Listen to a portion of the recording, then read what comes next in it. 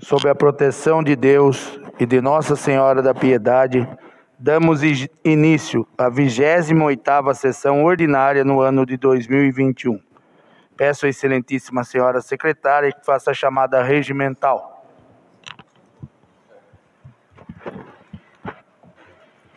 Adilson Castanho. Presente. Alex Pinheiro da Silva. Presente. Alexandre Pereira. Presente. Caio César da Silva Martori. Presente. Jefferson Donizete Cardoso. Presente. Joacildo Xavier dos Santos. Presente. José Anésio Xavier Lemes. Presente. Maria Vicentina Godinho Pereira da Silva. Presente. Mauro Vieira Machado. Presente. Nelson Prestes de Oliveira. Nilza Maria dos Santos Godinho. Valdinei Aparecido Mariano Franco. Presente. Vande Augusto Rodrigues. Com todos os vereadores presentes, peço ao excelentíssimo vereador Valdinei Aparecido Mariano para fazer um trecho da leitura da Bíblia.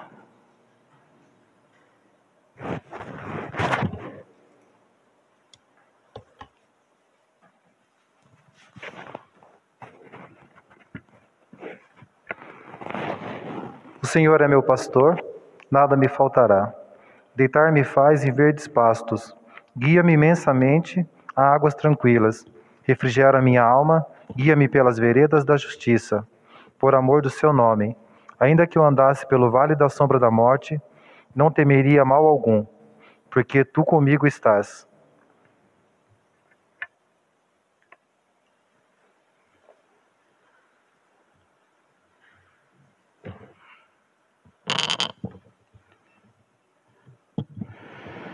Coloco em votação a ata da 27ª sessão ordinária do ano de 2021.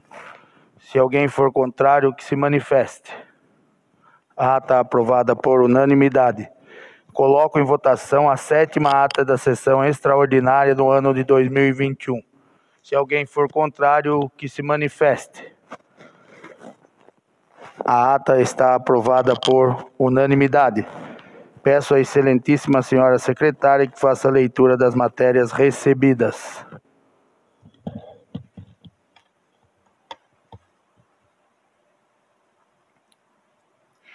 Piedade, 1 de outubro de 2021.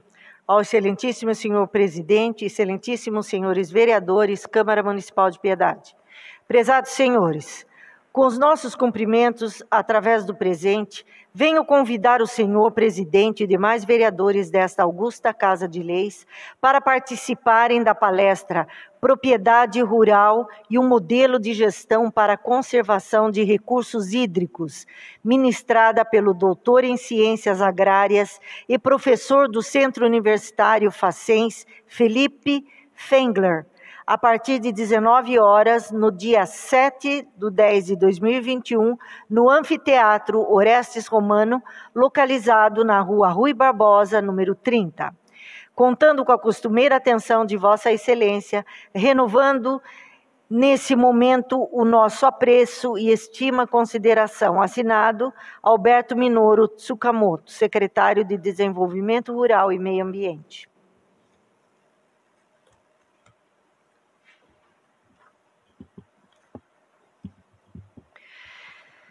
Projeto Lei número 48 de 2021, procedência Poder Executivo. Dispõe sobre a revogação da Lei Municipal 4019 de 20 de agosto de 2009 e da nova redação ao artigo 3 da Lei Municipal 3958 de 18 de novembro de 2008, conforme especifica.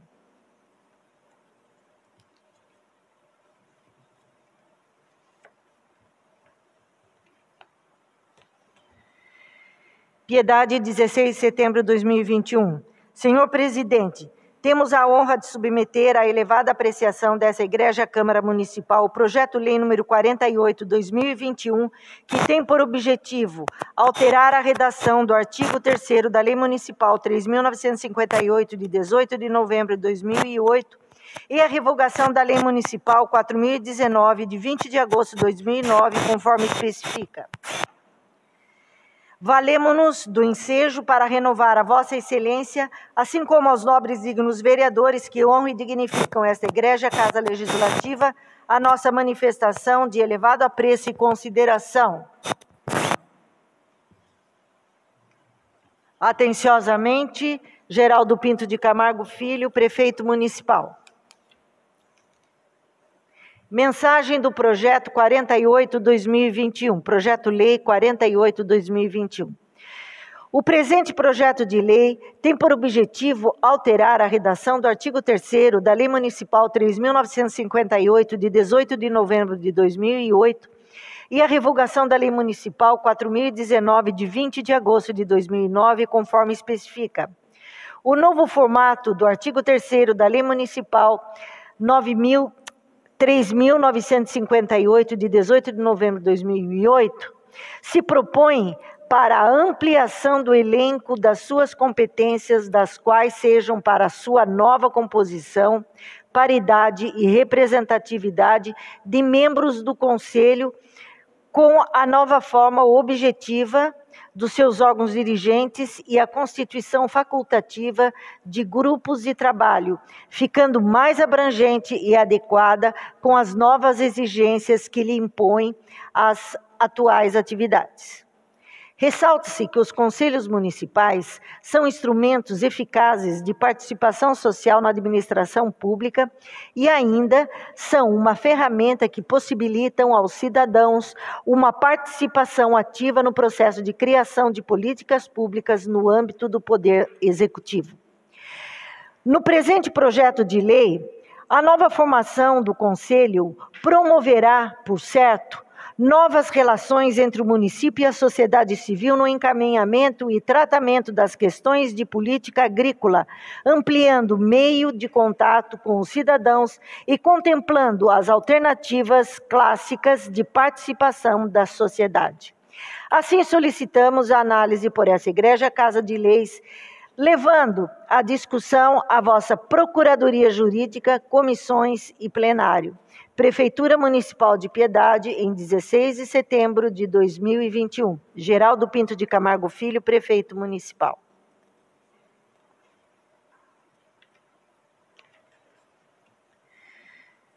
Projeto Lei número 48 de 2021. Dispõe sobre a revogação da Lei Municipal 4019 de 20 de agosto de 2009 e da nova redação, artigo 3 da Lei Municipal 3.958, de 18 de novembro de 2008, conforme especifica.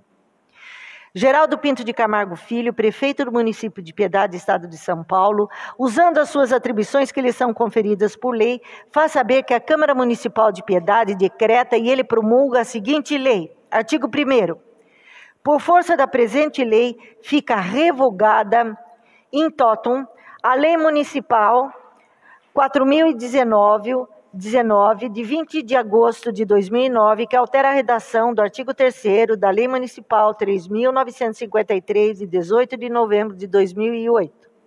Artigo 2 o artigo 3 da Lei Municipal 3.958, de 18 de novembro de 2008, passa a vigorar com a seguinte redação. Artigo 3 o Conselho Municipal de Desenvolvimento Rural será composto por, no mínimo, 10 membros titulares e por igual número de suplentes, cuja composição se dará na seguinte forma: 1. Um, representando o poder público do, a quatro servidores públicos municipais indicados pelo chefe do Poder Executivo. B. Um servidor público estadual indicado pela Secretaria de Agricultura do Estado de São Paulo. 2. Representando a sociedade civil. A. Um representante indicado pelo Sindicato dos Trabalhadores Rurais com atuação no município. B. Quatro representantes das organizações não governamentais ligadas ao tema da agricultura e sediadas no município. Parágrafo 1. Os membros do conselho previstos no caput serão nomeados por decreto do chefe executivo municipal para um mandato de dois anos, permitida uma recondução por igual período. Parágrafo 2. Caberá, caberá à Secretaria de Desenvolvimento Rural e Meio Ambiente regulamentar a organização da Conferência Municipal de Agricultura ou outro evento congênere relacionado à matéria, com periodicidade bienal, cujo objetivo será discutir as ações do município para, é, para o meio rural e para a área de produção agrícola e eleger os representantes e respectivos suplentes da sociedade civil para compor o Conselho Municipal de Desenvolvimento Rural. Parágrafo 3. Cada membro será substituído em seus impedimentos pelo suplente. Artigo 3. Para o biênio 2021-2022, os membros da sociedade civil serão indicadas, indicados desculpe, pelas entidades descritas no inciso 2 do artigo 3 da Lei Municipal 3.958, de 18 de novembro de 2008, com a redação dada pela, pelo presente dispositivo legal, com realização do evento de que trata o parágrafo 2 do mesmo artigo 3. Artigo 4. As despesas decorrentes com a execução desta lei é, correrão por conta de dotações orçamentárias próprias, suplementadas se necessário. Artigo 5. Esta lei entra em vigor na data da sua publicação, revogadas as disposições em contrário. Prefeitura Municipal de Piedade, 16 de setembro de 2021.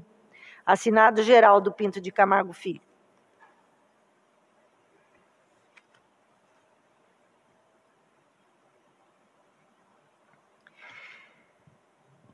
Projeto-Lei número 52/2021, procedência do Poder Executivo dispõe sobre a instituição do plano de regularização de obras propriedade do município de Piedade e da outras providências. Piedade, 21 de setembro de 2021. Senhor presidente, temos a honra de submeter à elevada apreciação dessa Igreja Câmara Municipal o projeto Lei número 52/2021, que dispõe sobre a instituição do plano de regularização de obras propriedade do município de Piedade e da outras providências. Valemos-nos do ensejo para renovar a Vossa Excelência, assim como aos nobres dignos vereadores que honram e dignificam essa Igreja Casa Legislativa, a nossa manifestação de elevado apreço e consideração. Atenciosamente, Geraldo Pinto de Camargo Filho, prefeito municipal. Mensagem do projeto de lei 52/2021. O presente projeto de lei tem por objetivo instituir o plano de regularização de obras propriedade. Ademais, o projeto de lei propriedade e o procedimento de regularização para obras concluídas até a data do início da vigência desta lei que estejam em desacordo com a legislação urbanística e idilícia, eu estou com uma dificuldade, idilícia vigente.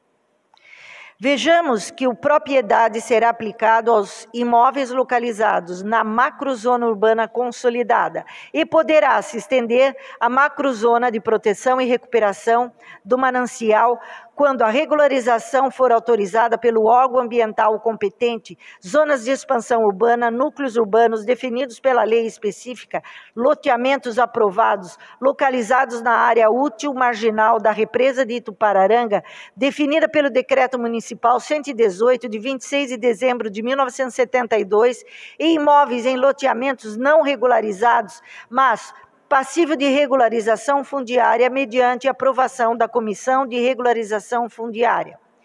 Assim, solicitamos análise por, por essa Igreja Casa de Leis, levando a discussão à vossa Procuradoria Jurídica, comissões e plenário. Prefeitura Municipal de Piedade, 21 de setembro de 2021. Assinado Geraldo Pinto de Camargo Filho, Prefeito Municipal.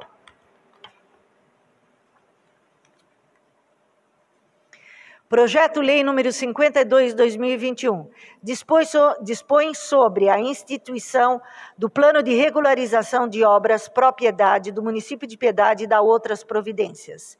Geraldo Pinto de Camargo Filho, prefeito do município de Piedade, Estado de São Paulo, usando de suas atribuições que lhe são conferidas por lei, faz saber que a Câmara Municipal de Piedade decreta e ele promulga a seguinte lei o plano de recuperação, capítulo 1, o plano de recuperação de obras. Artigo 1 fica instituído o plano de desculpe, plano de regularização de obras. Artigo 1 fica instituído o plano de regularização de obras propriedade. O propriedade é o procedimento de regularização para obras concluídas até a data de início de vigência desta lei que estejam em desacordo com a legislação urbanística e edilícia revigente. Parágrafo 1 O propriedade se aplica aos imóveis localizados na macrozona urbana consolidada e poderá se estender à macrozona de proteção e recuperação do manancial, quando a regularização for autorizada pelo órgão ambiental competente, zonas de expansão urbana, núcleos urbanos definidos por lei específica, loteamentos aprovados localizados na área útil marginal, a represa de Itupararanga, definida pelo Decreto Municipal 118 de 26 de novembro de 1972, e imóveis em loteamentos não regularizados, mas passível de regularização fundiária mediante mediante aprovação da Comissão de Regularização Fundiária.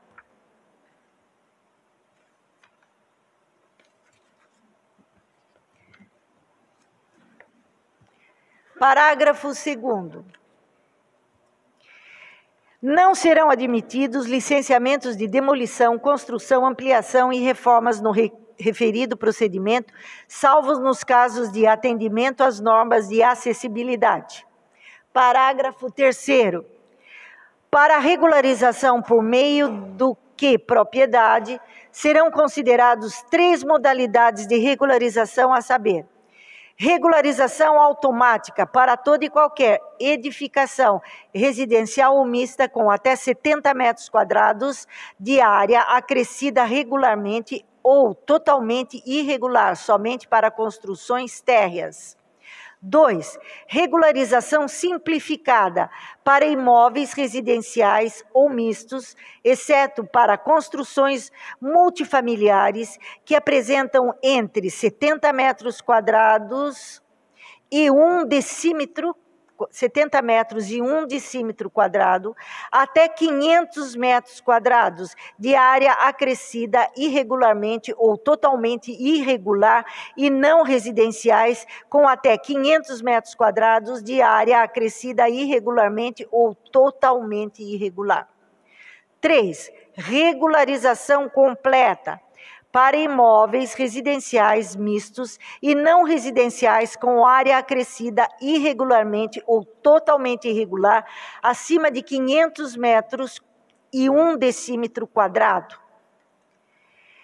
Parágrafo 4 não serão admitidos, por meio do propriedade, as regularizações automática e simplificada de construções em área de proteção aos mananciais da represa de Tupararanga que tenham sido objeto de auto de embargo, infração ambiental ou sem aprovação do alvará ambiental de obras por meio da Secretaria de Agricultura e Meio Ambiente do município de Piedade.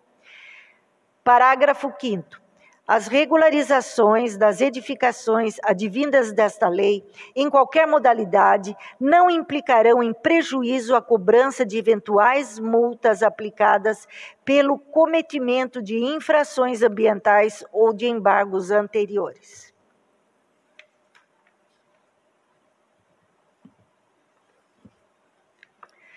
Parágrafo 6. Não serão admitidos por meio do propriedade, a regularização de construções em área de restrição à ocupação, áreas de risco geológico, áreas suscetíveis e inundações, a inundações, alagamentos e área proteção permanente de rios e córregos, APP, com exceção de parcelamentos regularizados através do REURB. Parágrafo 7. Os casos de regularização de imóveis em área de APP, em loteamentos regularizados através do REUB, o processo de aprovação deverá ser encaminhado para a Comissão de Regularização Fundiária analisar antes da aprovação do projeto. Parágrafo 8. Os pedidos para regularizações de edificações, nos termos dessa lei, deverão ser realizados no prazo de 24 meses. Capítulo 2 da admissibilidade da regularização. Artigo 3 Poderão ser regularizadas, nos termos desta lei, as edificações que apresentem as seguintes condições: 1. Um, a inobservância aos recuos à taxa de ocupação, ao coeficiente de aproveitamento e aos demais requisitos, requisitos exceto quanto às dimensões mínimas do terreno, ressalvados os casos em que estas dimensões estejam devidas e previamente registradas no competente cartório de registro de imóveis. 2 vãos de iluminação e ventilação com distância inferior a um metro e meio, um metro e cinquenta centímetros da divisa, desde que expressamente autorizados por vizinho, conforme termo de anuência da vizinhança, com firma reconhecida, modelo no anexo 5 que integra esta lei. 3. A projeção de elementos construídos, tais como marquise, balanço do corpo fechado, sacada, terraço ou varanda de pavimentos superiores de edificações, com avanços dos beirais sobre o passeio público,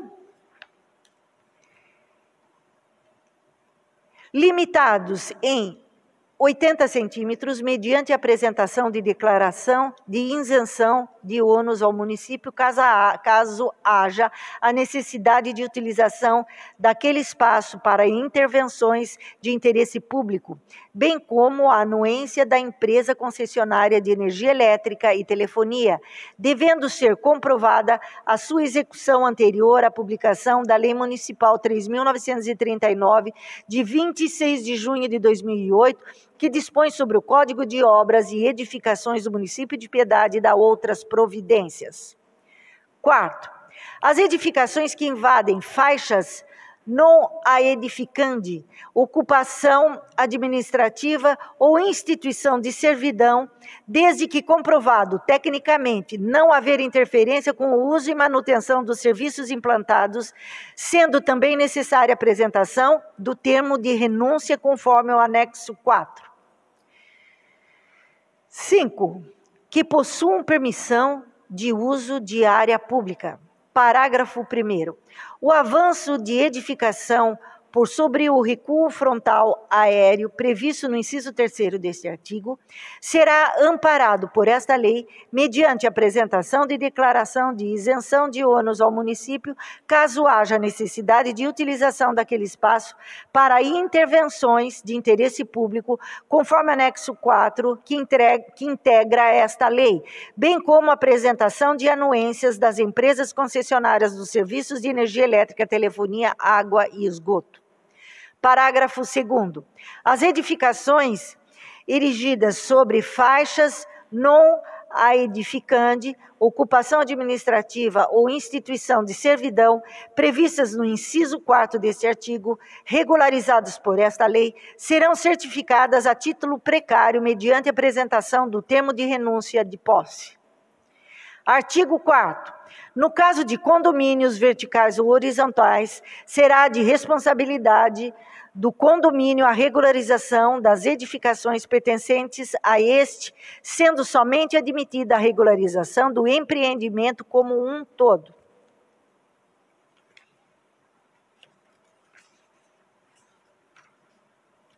Parágrafo único. Não será admitida a regularização individual de unidades autônomas em condomínios, salvo os aprovados em regime especial. Artigo 5. Não são passíveis de regularização nos termos desta lei as edificações que, 1. Um, estejam em áreas de risco geológico. 2. Invadam área pública, exceto os casos previstos no artigo 3 inciso 3 desta lei. Inciso 3 desta lei.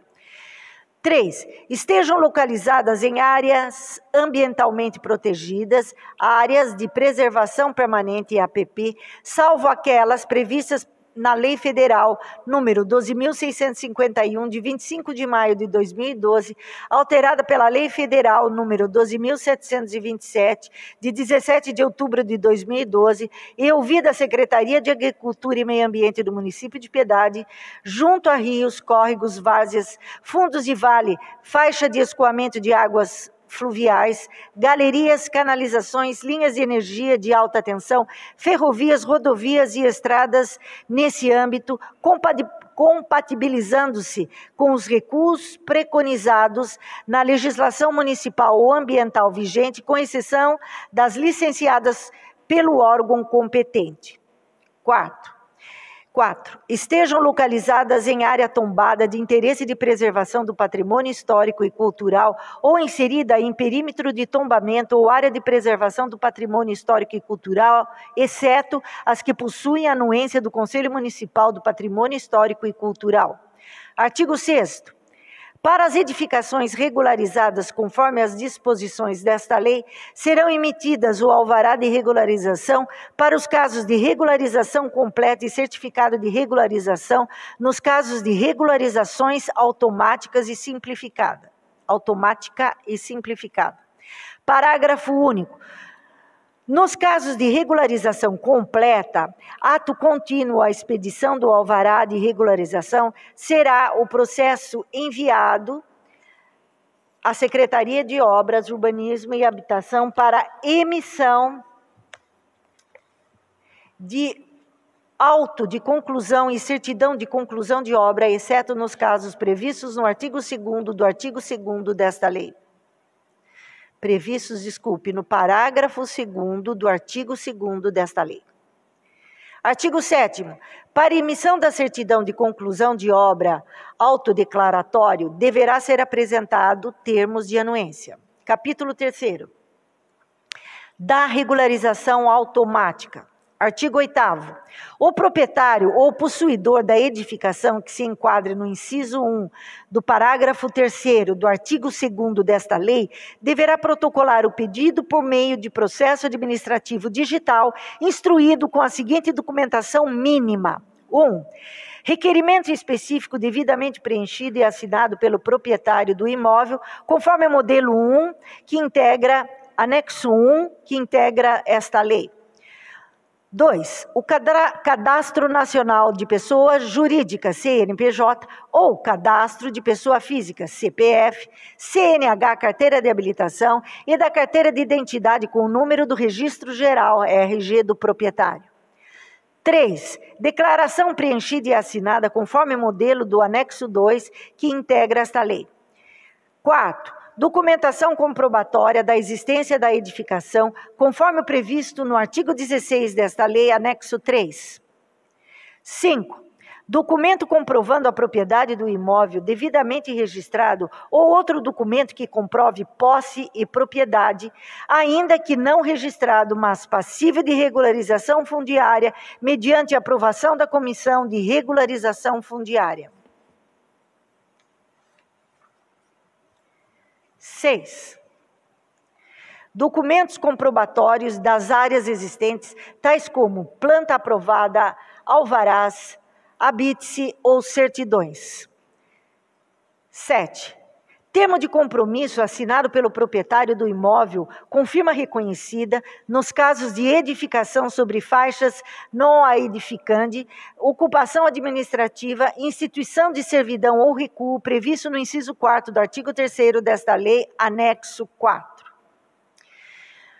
8. Termo de anuência de todos os confrontantes, anexo 5.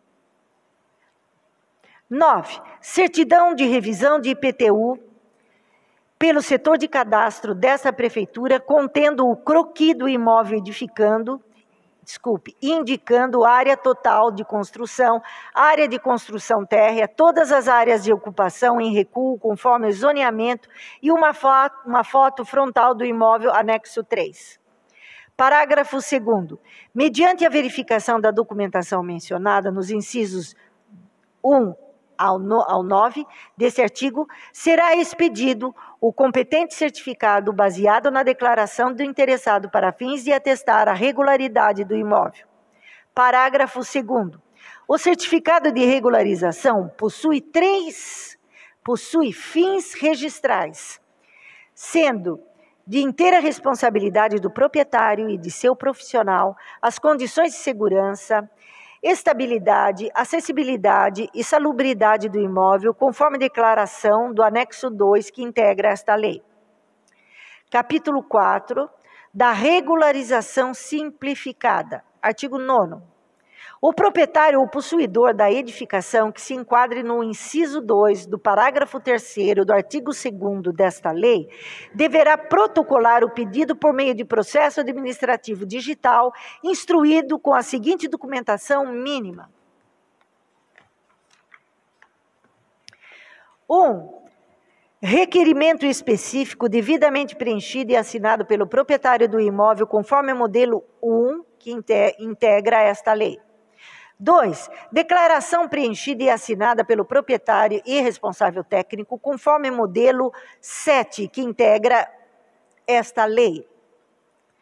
3. Anotação de responsabilidade técnica ou registro de responsabilidade, responsabilidade técnica, ART, RRT, com o seu comprovante de pagamento, assinado por profissional legalmente habilitado e proprietários ou procurador.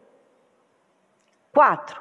Croqui elucidativo de edificação, conforme o modelo do anexo 8, que integra esta lei. 5. Documentação, documentação comprobatória da existência de edificação, conforme o previsto no artigo 18 desta lei, conforme certidão emitida pelo setor de cadastro, anexo 3. 4. Cadastro Nacional de Pessoa Jurídica. CNPJ ou cadastro da pessoa física, CPF, CNH, carteira de habilitação e da carteira de identidade com o número do registro geral, RG do proprietário. 7.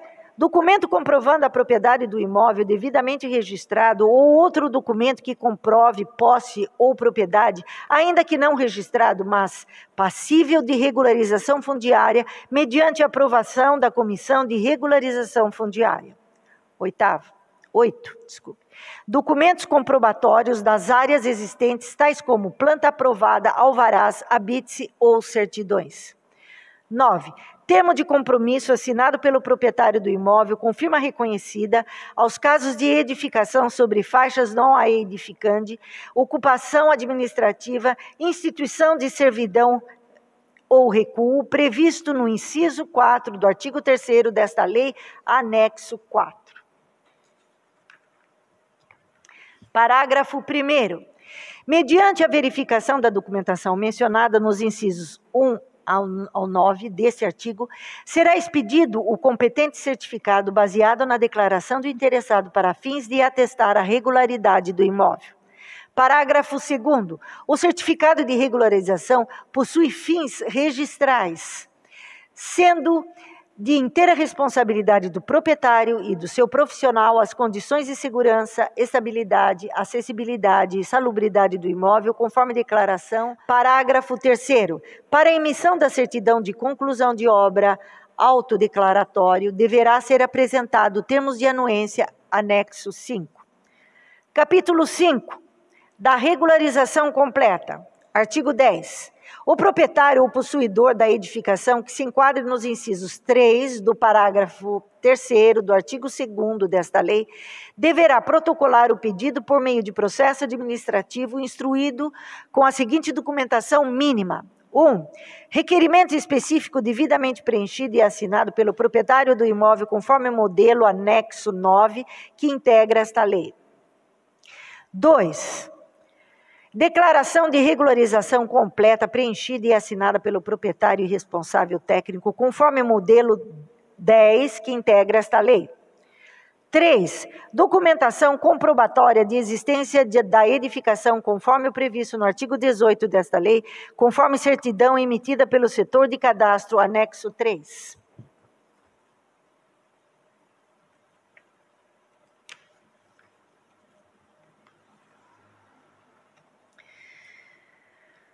Quatro, o Cadastro Nacional de Pessoa Física, CNPJ, ou cadastro, o cadastro de pessoa física, desculpe, Cadastro Nacional de Pessoa Jurídica, CNPJ, ou cadastro de pessoa física, CPF, CNH, carteira de habilitação e da carteira de identidade com número de registro geral RG do proprietário.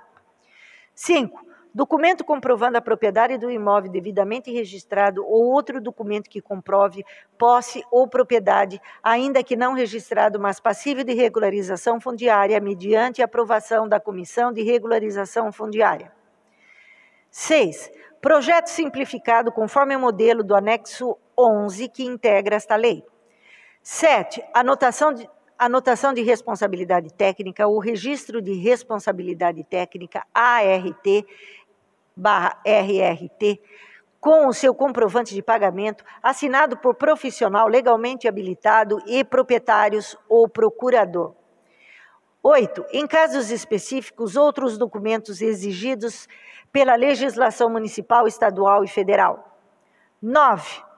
Termo de compromisso assinado pelo proprietário do imóvel com firma reconhecida nos casos de edificação sobre faixas não a edificande, ocupação administrativa, instituição de servidão ou recuo previsto no inciso 4 do artigo 3 desta lei, anexo 4. 10. Certificado de licença ou auto de vistoria do Corpo de Bombeiros para imóveis não residenciais acima de 250 metros quadrados ou residenciais acima de 750 metros quadrados e todos os multifamiliares, independente da metragem, conforme disposto na Instrução Técnica número 42, no Regulamento de Segurança contra Incêndio do Estado de São Paulo. Parágrafo 1. O projeto simplificado de que trata o inciso, o inciso 6 deste artigo deverá conter os elementos gráficos e informações necessários e necessárias à análise quanto aos parâmetros técnicos e urbanísticos estabelecidos pela legislação vigente e os existentes no imóvel, compreendendo, no mínimo, 1. Um, implantação da edificação no lote por pavimentos em escala 1 por 200, para boa interpretação, contendo a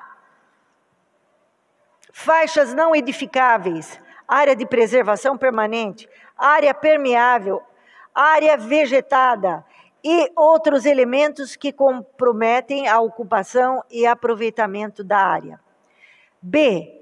Dimensões externas do lote e da edificação e recuos devidamente cotados. C.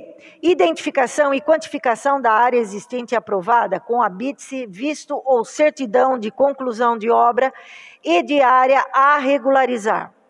D.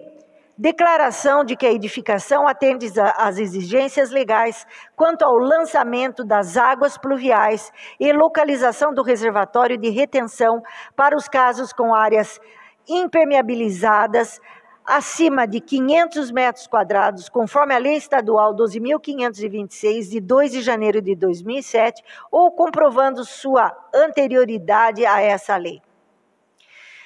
E declaração de que a edificação atende às exigências legais quanto à acessibilidade, exceto nas edificações unifamiliares.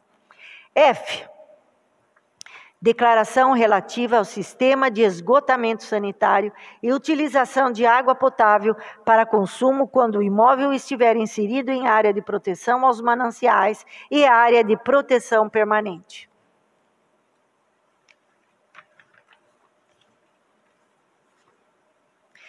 Parágrafo 2. As disposições internas dos compartimentos, as dimensões, as funções e o desempenho da edificação resultante da regularização são de responsabilidade do proprietário e do responsável técnico da obra. Artigo 11.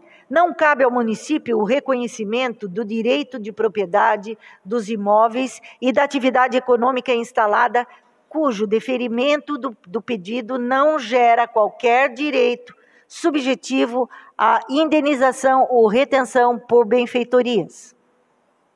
Artigo 12. O proprietário ou o possuidor a, a justo título responde solidariamente com o profissional legalmente habilitado e vinculado à respectiva ART ou RRT pelas condições de estabilidade, acessibilidade, segurança e salubridade da edificação executada e a ser regularizada. Parágrafo único. O disposto no caput deste artigo constará como observação na declaração do anexo 10 que integra esta lei. Artigo 13. Para ob obtenção da regularização prevista nesta lei, após executada a vistoria prevista no artigo 16, não será admitida nenhuma modificação ou ampliação na edificação, sob pena de indeferimento do pedido integral e competente ação demolitória cabível, após os trâmites fisca fiscalizadores legais, exceto nos casos previstos no parágrafo 2 do artigo 2 desta lei. Artigo 14. O pedido de regularização não possui efeito suspensivo das possíveis ações fiscais existentes, especialmente as multas lançadas em dívida ativa, devendo estas serem cumpridas pelo suposto infrator, independentemente da conclusão final da análise de seu pedido. Para capítulo 6 da existência da construção. Artigo 15.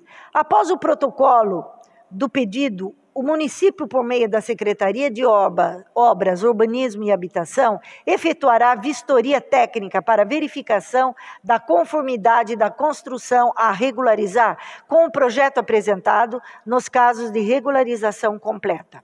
Parágrafo 1.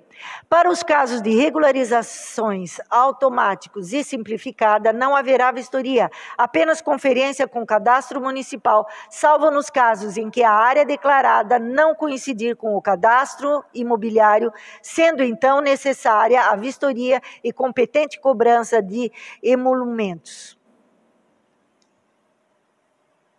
Parágrafo 2. A vistoria técnica realizada por essa prefeitura deverá ser de conferência somente das medidas externas do imóvel, sendo as medidas internas do imóvel de responsabilidade do proprietário e do técnico responsável. Artigo 16. A comprovação da existência da edificação construída até a data da vigência desta lei poderá se dar por meio de apresentação e análise de qualquer um dos seguintes documentos: 1. Um, lançamento no cadastro imobiliário municipal com a identificação da área tributada com dados do sistema SECAM e SIG, em que constará a metragem e o uso do imóvel objeto de regularização.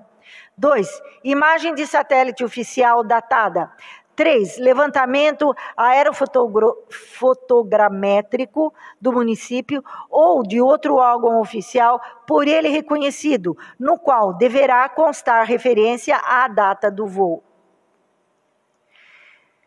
4 qualquer documento oficial expedido administra pela administração municipal que comprove a área construída, tais como notificação ou embargo relativo à construção, auto de infração relativo à construção, lançamento de tributos sobre a construção, entre outros. 5. Outras solicitações à municipalidade por meio de procedimentos administrativos que comprovem a área construída. 6 Outros documentos idôneos a critério da administração pública. Parágrafo 1. Para os casos de regularização automática e simplificada e comprovação da pré-existência, dar-se-á prioritariamente por meio do cadastro imobiliário, podendo ainda valer-se da documentação mencionada nos incisos 1 a 6 do caput desse artigo, quando houver. Parágrafo 2. Excepcionalmente, em atendimento ao relevante interesse social envolvido, serão consideradas concluídas as edificações que, na data do início de vigência desta lei, apresentem-se com as uh, paredes erguidas e a cobertura executada. Artigo 17. Comprovação da existência de área permeável e vegetada em imóvel inserido em área de proteção aos mananciais. Em ambas as modalidades de regularização poderão se dar por meio de apresentação e análise de qualquer um dos seguintes documentos: 1. Um, imagem de satélite oficial datada. Levantamento aerofotogramétrico do município ou de outro órgão oficial por ele reconhecido, no qual deverá constar referência à data do voo. Três, fotos da área permeável e vegetada constante no imóvel ou quatro, outros documentos idôneos a critério da administração pública. pública. Capítulo 7. Da contrapartida financeira.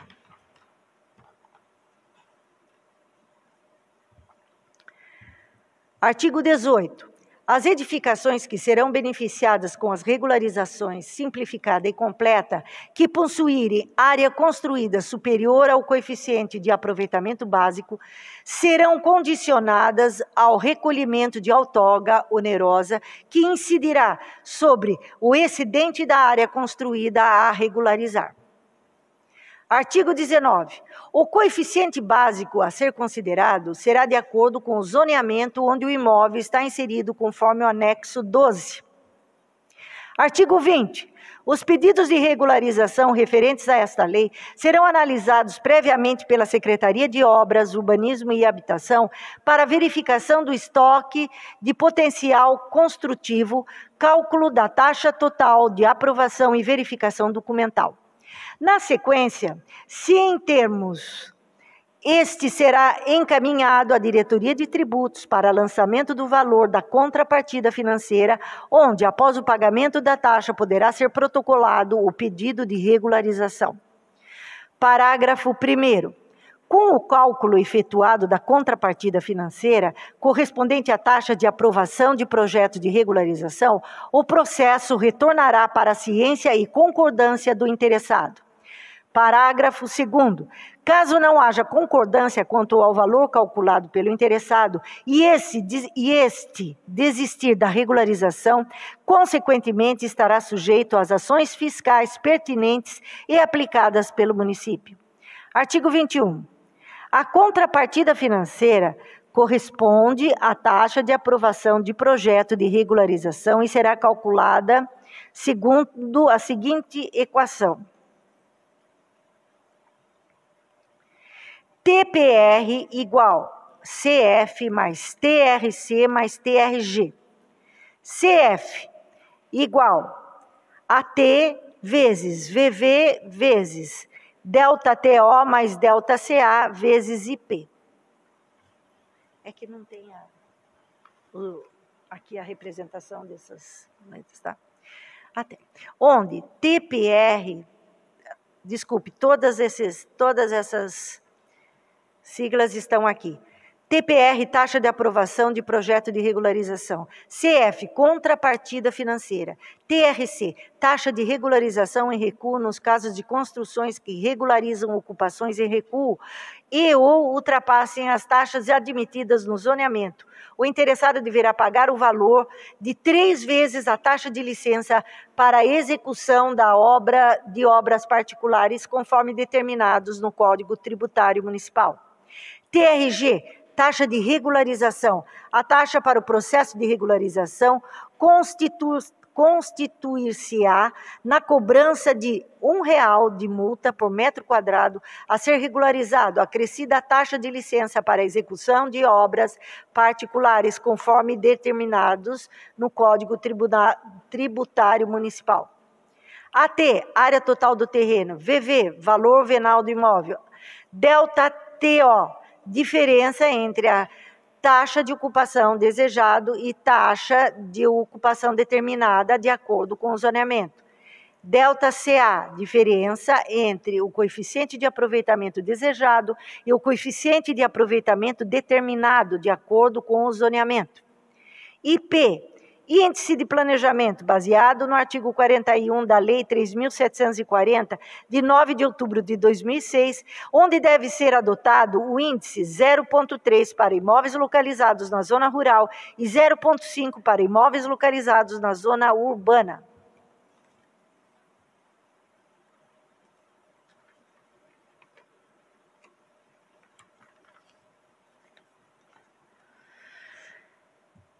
Parágrafo 1. A contrapartida financeira prevista no caput desse artigo deverá ser paga da seguinte maneira: 20% de entrada do projeto, apresentando o comprovante de pagamento no ato do protocolo. 80% restantes deverá ser lançado na retirada da aprovação, sendo possível parcelamento deste valor em até 12 parcelas desde que o valor mínimo das parcelas não seja menor que 27,85, valor atualizado anualmente conforme o Código Tributário Municipal. Fica facultado ao contribuinte o pagamento total da contrapartida financeira, se assim desejar, no ato da entrada do projeto, apresentando o comprovante de pagamento no ato do protocolo. Parágrafo 2. A primeira parcela ou a parcela única da contrapartida financeira vencerá 15 dias após a constituição do lançamento e sua quitação é condição para prosseguimento na emissão do documento solicitado. Parágrafo 3. As taxas relacionadas nesta lei serão corrigidas anualmente mediante aplicação do Índice de Preços ao Consumidor Amplo Especial IPCA-E ou outro índice que venha eventualmente substituí-lo. Artigo 22. Para os imóveis aptos à aprovação de regularização, no ato da emissão das, da certidão de aprovação ou alvará de regularização, também serão emitidos as certidões de conclusão ou auto de conclusão habite-se do imóvel e suas devidas taxas de acordo com o Código Tributário Municipal. Capítulo 8. Do indeferimento do pedido. Artigo 23. O processo deverá ser indeferido com a pena perda do direito se não houver manifestação do interessado após 45 dias, contados da data do último comunique-se, o qual será informado por meio digital ou publicação em edital, prosseguindo-se após com os trâmites fiscalizatórios pertinentes.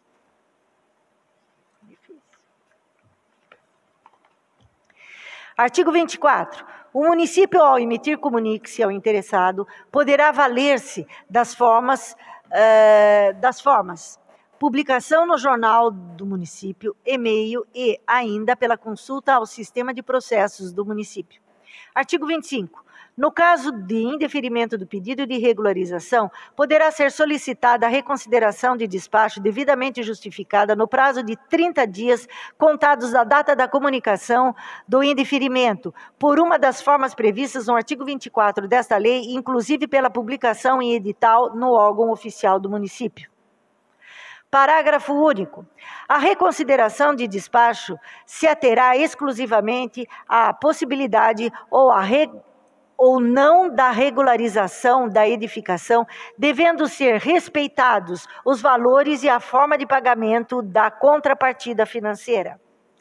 Artigo 26. Havendo o indeferimento do pedido de reconsideração do artigo 25 desta lei, o processo administrativo que trata da regularização não será mais objeto de análise para fins de regularização e a fiscalização será informada da decisão, prosseguindo-se com as medidas fiscalizatórias cabíveis. Parágrafo único. Caso persista o interesse da regularização de edificação, deverá ser formulado novo pedido mediante a apresentação da documentação completa e dentro do prazo legal desta lei, submetendo-se a novo recolhimento de contrapartida financeira. Capítulo 9 das disposições finais. Artigo 27.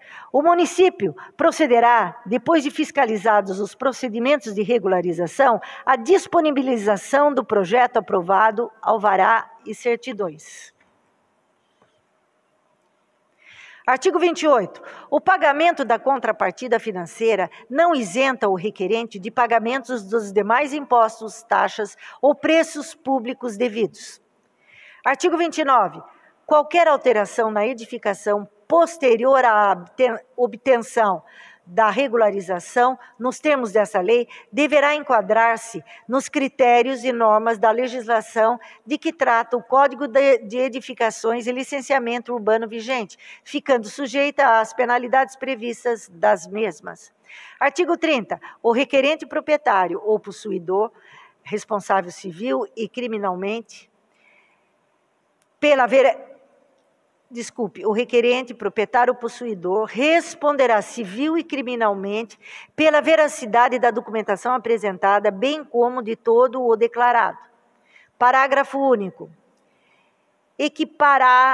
Equipara-se ao proprietário do imóvel, o possuidor, ajuste o título independentemente do registro do, no registro de imóveis, conforme disposto no inciso 7 do artigo 10 desta lei. Artigo 31. Os casos omissos e eventualmente conflitantes desta lei serão analisados pelo Conselho Municipal de Política Urbana, CMPU. Artigo 32. Não incidirá, não incidirá a cobrança de contrapartida financeira sobre as áreas anteriormente regularizadas, já com habite-se, visto, certidão de conclusão de obras ou alvará, alvará e planta de conservação previamente expedidos ou aprovados. Artigo 33. Durante a vigência desta lei, o município dedicará espaço publicitário no notícias do município e, concomitantemente, no site do município de Piedade, para divulgação do plano de regularização de obras pró-piedade.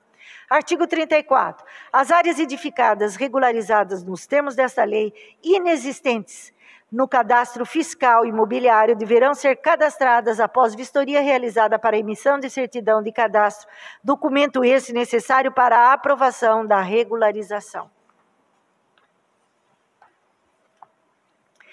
Parágrafo único. No ato da emissão da certidão de cadastro do imóvel, deverá ser emitido a numeração predial. Artigo 35. Para os imóveis passíveis desta aprovação, fica a autoridade administrativa competente autorizada a proceder ao lançamento retroativo de imposto sobre a, a propriedade territorial urbana IPTU relativo aos cinco últimos exercícios, a partir da data da respectiva aprovação, conforme Código Tributário Municipal. Artigo 36. São partes integrantes desta lei os seguintes modelos. 1. Um, requerimento padrão para regularização automática barra simplificada, anexo 1. 2. Requerimento padrão para regularização completa, anexo 9. 3. Declaração de regularização automática, anexo 2. 4. Certidão de cadastro do imóvel, anexo 3. 5. Declaração de regularização simplificada, anexo 7. 6. Declaração de regularização completa, anexo 10. 7. Modelo de croquis elucidativo para regularização simplificada, anexo 8. 8. Modelo de projeto para, para regularização completa, anexo 11. 11. Desculpe, 9. Termo de anuência da vizinhança, anexo 5. 10. Termo de compromisso para ocupação de FNA ou recuo frontal com isenção de ônus ao município, anexo 4. 11. Modelo de declaração proprietários distintos, anexo 6. 12. Modelo de cálculo do coeficiente básico a ser considerado, anexo 12. Artigo 37. Aplica-se o disposto do artigo 35 desta lei aos processos atualmente em curso referentes a pedidos de regularização de área edificada requeridos nos termos da lei municipal e suas alterações, e situando-se os casos de lançamentos de tributos já constituídos até a data de publicação desta lei. Artigo 38. A aplicação do disposto nesta lei não implica em restituição de quantias pagas. Artigo 39. Esta lei entra em vigor na data da sua publicação, produzindo efeitos após decorridos 20 dias dessa data e revogadas disposições em contrário. Piedade, 21 de setembro de 2021, assinado Geraldo Pinto de Camargo Filho, prefeito municipal.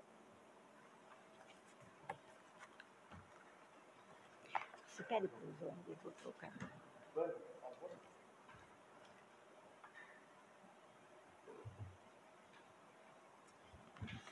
Meu Deus. Uma hora, né? Uma hora cravada. Uma hora.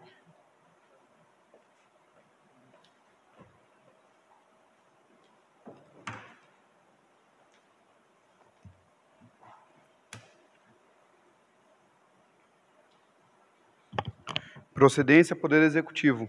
Assunto: Projeto de Lei número 53 de 2021.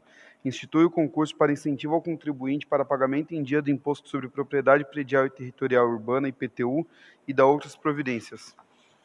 Excelentíssimo presidente, temos a elevada honra de submeter à apreciação de Vossa Excelência e dos seus dignos pares o projeto de lei número 53 de 2021, que institui o concurso para o incentivo ao contribuinte para pagamento em dia do Imposto sobre Propriedade Predial e Territorial Urbana, IPTU, e da outras providências. Valemos-nos do ensejo para renovar a Vossa Excelência, assim como aos nobres dignos vereadores, que honram e dignificam esta Igreja, a Casa Legislativa, a nossa manifestação de elevada apreço e consideração Atenciosamente, Geraldo Pinto de Camargo Filho, Prefeito Municipal. Mensagem Projeto de Lei 53 de 2021. Excelentíssimo senhor presidente, senhoras vereadores e senhores vereadores da Casa de Leis do município de Piedade. A prefeitura interessada em implantar o programa IPTU premiado por meio de campanha a partir do exercício de 2022 conduz a essa conceituada, conceituada Casa de Leis para análise dos nobres vereadores, Autoriza o Poder Executivo Municipal a promover campanha de estímulo à arrecadação do Imposto sobre Propriedade Predial e Territorial Urbana IPTU, mediante realização de sorteios de prêmios como meio de auxiliar a fiscalização, melhorar e incrementar a arrecadação dos tributos municipais. Participa da premiação o contribuinte que pagar o Imposto Predial Territorial Urbano de 2022 em cota única ou parcelada desde que esteja em dia. O propósito da campanha é premiar o contribuinte que está regular, regularmente em dia com o IPTU, Importante ressaltar que o contribuinte, além de pagar o IPTU em dia do ano vigente, deve estar em dia com, IP, com o pagamento do IPTU dos anos anteriores, para que esse esteja apto aos sorteios. Após quitar o IPTU em cota única ou via pagamento parcelado do imposto, o contribuinte concorrerá ao sorteio de prêmios, por meio de uma sequência numérica que será emitida pelo sistema com o nome do contribuinte e número de quadro e lote do imóvel. Cada imóvel individualizado para fins de tributação dará direito a uma sequência numérica para o sorteio, independentemente do valor do tributo recolhido.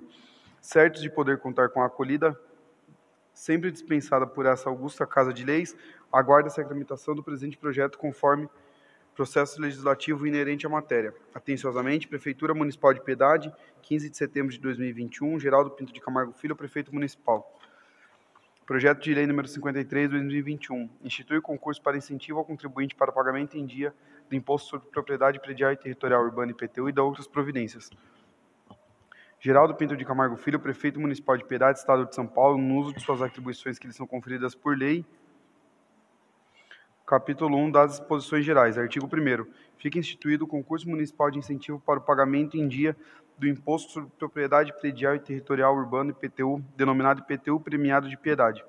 Parágrafo único. O Poder Executivo Municipal, através da Secretaria Municipal de Finanças, fica autorizado a adquirir os bens necessários à realização dos sorteios dos prêmios na forma desta lei. Artigo 2 Os prêmios disponibilizados pelo município para serem sorteados e as datas da realização dos concursos serão definidos por decreto do Poder Executivo Municipal, com ampla divulgação na imprensa local. Parágrafo 1 os prêmios objeto dos sorteios poderão poderá ser pagos em dinheiro, através de cartão com vale compras, crédito em telefone celular pré-pago ou outros bens móveis, que poderão ser previamente fixados para todo o ano ou serem escolhidos para cada sorteio, observando o limite legal dos gastos previstos no, para o evento anual. Parágrafo 2 No caso de sorteio de prêmios nas espécies de vale compras, os prêmios serão pagos em cartões de compras, abastecidos com créditos no valor do montante do prêmio, que deverão ser utilizados no prazo de seis meses, a contar da data de retirada do vale, do vale para compras no comércio, fim do qual o cartão será cancelado, não podendo o contribuinte reclamar qualquer ressarcimento pelo não uso do cartão no período. Artigo 3 para a organização do concurso será nomeada, através de portaria, uma comissão de administração que deverá contar com no máximo cinco membros e que terão as seguintes atribuições. Inciso 1. Zelar pelo cumprimento do disposto nessa lei e seus regulamentos. 2 orientar e dirimir as dúvidas dos participantes do IPTU Premiado de Piedade. 3. Organizar os eventos de premiação. 4. Proceder à notificação do contribuinte para comprovação de sua regularidade perante o fisco e retirada do prêmio. 5. Homologar o sorteio e divulgar o nome dos premiados no momento da apuração, bem como proceder à publicação na imprensa local. Artigo 4 Poderão participar do sorteio dos prêmios a que se refere essa lei todos os contribuintes do Imposto sobre Propriedade Predial e Territorial Urbano, IPTU, e o locatário do imóvel, desde que o, desde que o compromissado ao pagamento do IPTU do imóvel sorteado possuindo mais de um imóvel, deverão estar regularmente em dia, sendo que, no caso dos proprietários e possuidor a quais, quaisquer título, esses deverão estar devidamente inscritos no cadastro fiscal do município. Parágrafo 1 Tratando-se de locatário, esse somente poderá receber o prêmio se provar estar compromissado ao pagamento do IPTU do imóvel locado, através do contrato devidamente assinado com o locador, devendo ainda exibir o carnê de IPTU do exercício com as parcelas pagas a se verificar estar aquele em dia com os pagamentos e não existirem débitos de anos anteriores. Parágrafo 2 E não havendo disposição contratual ao pagamento de IPTU pelo locatário, mesmo que esse o faça, o prêmio deverá ser pago ao proprietário do imóvel, cujas obrigações deverão ser resolvidas pelas partes, sem qualquer responsabilização do município por dano a qualquer das partes e a terceiros.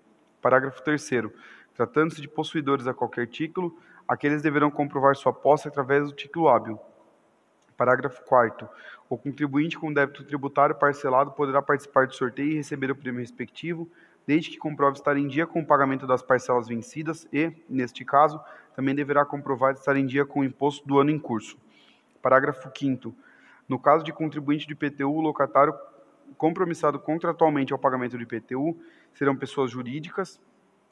O prêmio será pago ao representante geral da empresa, mediante a exibição de contrato social e suas alterações, com cópias dos documentos do representante, que assumirá toda e qualquer responsabilidade civil e criminal pelos seus atos com relação à empresa e a terceiros. Artigo 5 Estarão impedidos de participar de sorteios e ao recebimento de qualquer prêmio do concurso os proprietários ou possuidores a qualquer título e os locatários devidamente compromissados ao pagamento do IPTU, que tiverem débitos de IPTU, inscritos ou não em dívida ativa, ou pendências judiciais relativas a exercícios anteriores. Parágrafo 1 também não fará jus ao recebimento do prêmio contribuinte que não estiver rigorosamente em dia com os pagamentos dos débitos tributários, objeto de parcelamento autorizado pelo fisco, inclusive com a parcela vencida até o, dia, até o último dia útil do mês anterior à data da realização do sorteio. Parágrafo 2 Não poderão participar dos sorteios do concurso. 1. Um, prefeito e vice-prefeito municipal. 2. Vereadores. 3. Secretários municipais e diretores. E 4. Os membros da comissão organizadora do concurso, nomeada pelo prefeito. Artigo 6 o contribuinte cujo imóvel não esteja devidamente inscrito em seu nome no cadastro imobiliário somente fará jus ao recebimento do prêmio se comprovar a titularidade sobre o imóvel através de documento formal escrito, hábil e transferência do bem para o seu nome. Artigo 7 os sorteios para a premiação do IPTU premiado de piedade acontecerão durante 12 meses de cada exercício fiscal, através do resultado da Loteria Federal.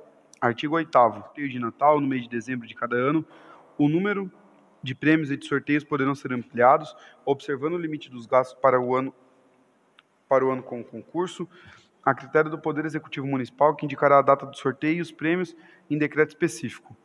Nono, artigo 9, perdão. Para efeito dos prêmios, será atribuído pela Prefeitura Municipal de Piedade um número de sorteio para cada imóvel. Artigo 10. Para apuração dos números sorteados no concurso, serão observados os números dos sorteios da Loteria Federal em sua mesma ordem de classificação do primeiro ao último premiado. Parágrafo 1. Extraídos os números sorteados pela Loteria Federal em sua classificação e sendo um número inválido para o concurso, será então desprezado sempre um número de cada vez sempre no sentido do valor correspondente a milhar para a dezena, até que se contemple um, um ganhador para o sorteio em espécie. Parágrafo 2 Caso não ocorra o sorteio da Loteria Federal na data do sorteio, seja qual for o motivo, serão considerados para aquele sorteio números extraídos do próximo sorteio da Loteria Federal ou o sorteio que distribuir a extração da, a extração da Loteria Federal. Artigo 11. No caso de se constatar qualquer impedimento ao recebimento do prêmio, pelo contribuinte do número sorteado, será consignado o prêmio ao número subsequente ao premiado. Artigo 12. Será admitida a interposição de recurso no prazo de 10 dias, contados a partir do seguinte aquele em que se realizou o sorteio dos prêmios. Parágrafo único. Os recursos deverão ser apreciados pela Comissão de Administração com parecer da autoridade fazendária, que deverá decidir a questão em grau superior, não cabendo novo recurso na esfera administrativa. Artigo 13 os contribuintes contemplados em quaisquer modalidade de premiação poderão ceder seus nomes, direito de imagem e voz de forma gratuita à divulgação publicitária do evento, devendo a comissão de administração providenciar os documentos necessários à autorização de sua divulgação.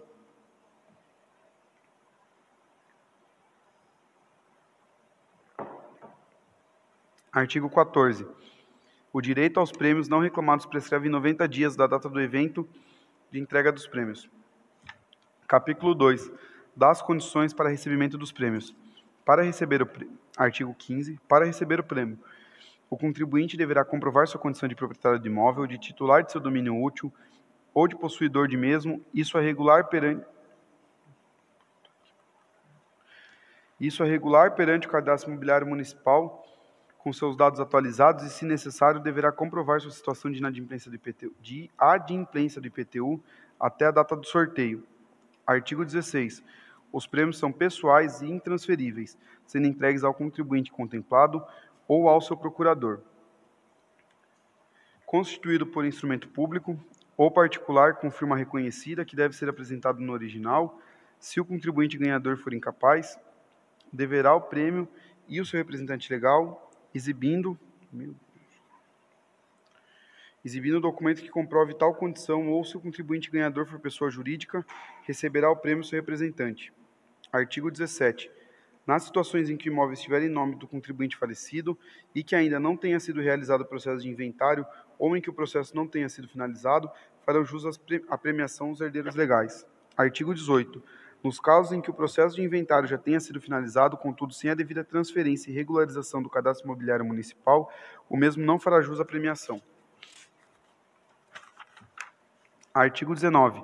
No caso do IPTU sorteado pertencer a mais de um, um, proprietário, compromissário ou possuidor, deverá ser entregue à comissão organizadora do programa IPTU premiado declaração assinada por todos os proprietários, compromissários ou possuidores, elegendo o representante de todos para efeito do sorteio e entrega do prêmio, sendo o prêmio entregue ao representante eleito e competirá o mesmo compartilhar o prêmio com os demais coproprietários, co-compromissários e copossuidores.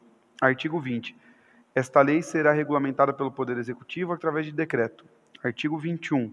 As despesas com execução desta lei correrão por conta das dotações orçamentárias constantes no orçamento, mediante abertura de crédito adicional especial no corrente exercício.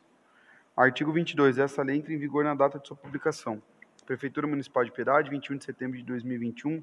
Geraldo Pinto de Camargo Filho, Prefeito Municipal.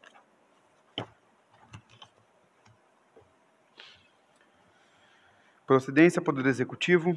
Projeto de Lei número 54 de 2021. Altera a redação do parágrafo 1 do artigo 2 da Lei 4.281, de 8 de abril de 2013, que institui o Programa de Prorrogação da Licença Gestante e Adotante no âmbito do município de Piedade e da outras providências. Senhor Presidente, temos a honra de submeter a elevada apreciação dessa Igreja. Temos a honra de submeter a elevada apreciação dessa Igreja Câmara Municipal o projeto de lei número 54 de 2021, que tem por objetivo alterar a redação do parágrafo 1 do artigo 2 da Lei 4.281, de 8 de abril de 2013, que dispõe sobre o prazo para requerimento de prorrogação da licença gestante e adotante no âmbito do município de Piedade e da outras providências.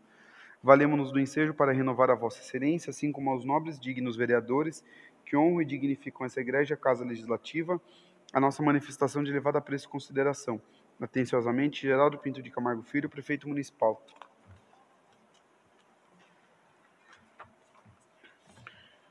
Mensagem ao projeto. Excelentíssimo Senhor Presidente, nobres vereadores, venho através do presente, a presença de Vossas Excelências, encaminhar projeto de lei número 54 de 2021 com, com o intuito de alterar a redação do parágrafo 1 do artigo 2 da Lei 4.281, de 8 de abril de 2013 a Lei 3.112, de 15 de dezembro de 1999, em sua seção 7, discorre sobre a licença gestante, a adotante e da licença paternidade.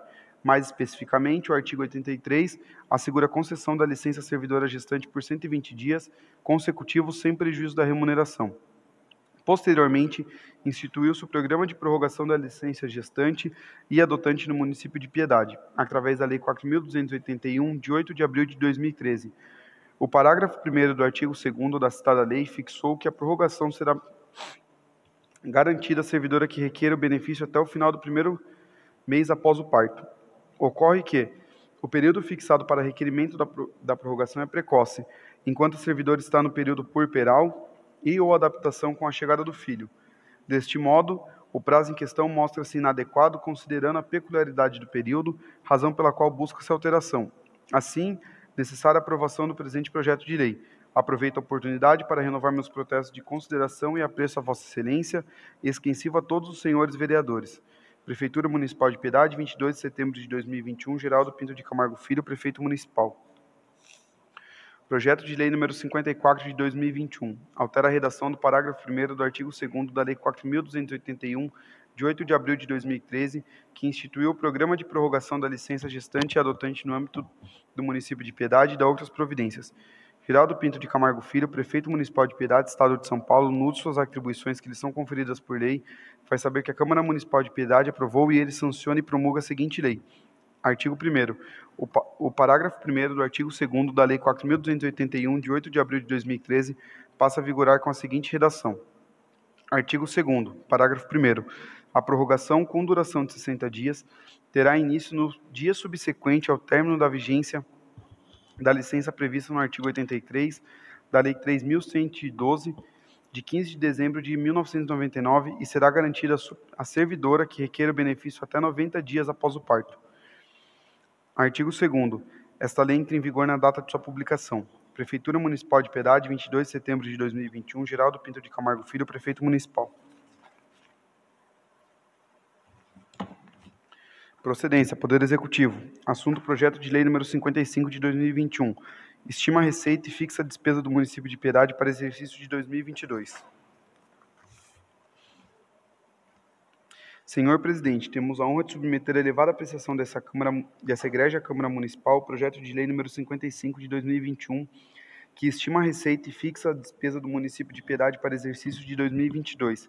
Assim, solicitamos a apreciação do presente projeto de lei, na forma do inciso 1 do artigo 140 do Regimento Interno da Câmara Municipal de Piedade. Valemos-nos do ensejo para renovar a Vossa Excelência, assim como aos nobres dignos vereadores que honram e dignificam essa Igreja Casa Legislativa, a nossa manifestação de elevada apreço e consideração. Mensagem orçamentária. Senhor Presidente, tenho a honra de submeter, por intermédio de Vossa Excelência, a apreciação dessa igreja, Câmara Municipal, o projeto de lei número 55 de 2021, o qual dispõe sobre o orçamento programa para o exercício financeiro de 2022, em cumprimento ao disposto no artigo 165 da Constituição Federal, combinado com o artigo 5 da Lei de Responsabilidade Fiscal, Lei número 101 de 4 de maio de 2000 e da Lei 4320 de 64.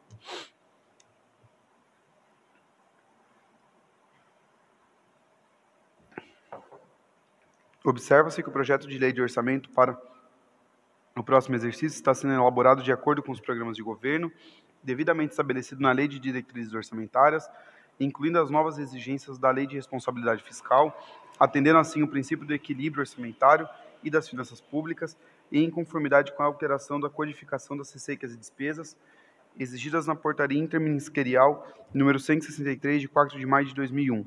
Ressaltamos que a administração vem cumprindo as exigências estabelecidas nos artigos 18, 19 e 20 da Lei número 101 de 2000, artigo 212 da Constituição Federal e o disposto na Emenda Constitucional número 29 de 2000, conforme os códigos abaixo. Receita realizada no exercício de 2020. Presente. Eu leio as tabelas.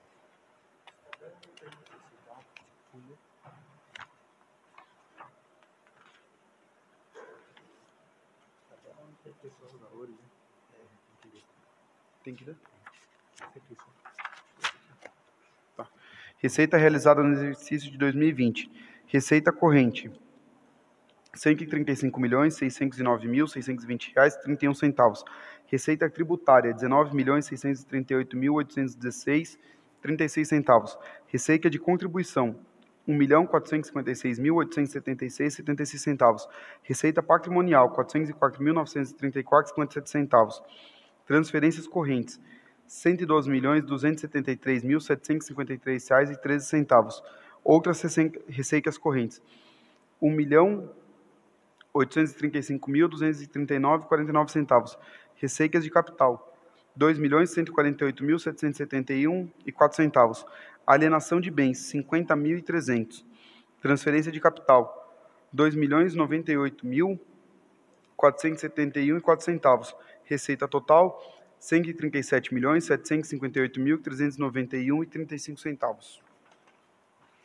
Demonstrativo de gastos por órgão da despesa efetivamente executada. Poder Executivo. Dependências do Gabinete, 574.655,80 centavos. Secretaria de Negócios Jurídicos, 712.763,64 centavos. Chefia de Gabinete, 3.614.185,28 centavos. Secretaria de Administração, 5.765.302,56 centavos. Secretaria de Orçamento e Finanças, 8.403.260,14 centavos. Secretaria de Educação, Cultura e Lazer, R$ 41.745.939,24. Secretaria de Saúde, R$ 37.334.941,64. Secretaria de Obras, Urbanismo e Habitação, R$ 942.355,52. Secretaria de Serviços Públicos e Transporte, R$ 17.111.122.087,63. Secretaria de Desenvolvimento Rural e Meio Ambiente, R$ 4.172.907,63. Secretaria de Desenvolvimento Social, R$ 3.390.281,10. Secretaria de Desenvolvimento Econômico, R$ 927.582,50. Total, R$ 124.706.282,68. Despesa total com pessoal no exercício de 2020. Despesa total, R$ 53.239.410,46. Receita corrente líquida, R$ 135.609.620,31, ou seja, 39,25% da receita corrente líquida. Demonstrativo da aplicação no ensino do exercício de 2020. Receita do ensino. Receita de imposto de transferência. Valor R$ 83.060.342,99. Demais recursos adicionais, R$ 5.552.224,39. Recursos do Fundeb mais aplicação financeira, R$ 26.534.156,62. Despesas do ensino. Total, artigo 212 da Constituição Federal. R$ 20.984.610,06 ou seja, 25,26%. Despesa com profissionais do magistério, R$ 19.799.854,34, ou seja, 74,62%. Demais, de, demais despesas, 40%, R$ 5.765.536,73, ou seja, 21,76%. Demonstrativo da aplicação na, em saúde, do exercício de 2020. Receitas. Receita de impostos, R$ 83.060.342,99. Despesas com ações e serviços de saúde e impostos, 22.209.513,40. Porcentagem aplicada, 26,74%. Por fim, esperando que o referido projeto permita em debate democrático entre os poderes executivo e legislativo, é que submetemos a apreciação da proposta orçamentária para o exercício de 2022, lembrando ainda que o mesmo deverá ser desenvolvido para a sanção até o encerramento da sessão legislativa. Aproveito a oportunidade para reiterar a Vossa Excelência os protestos de elevada estima, elevada estima e consideração. Prefeitura Municipal de Piedade, 28 de setembro de 2021, Geraldo Pinto de Camargo Filho, Prefeito Municipal.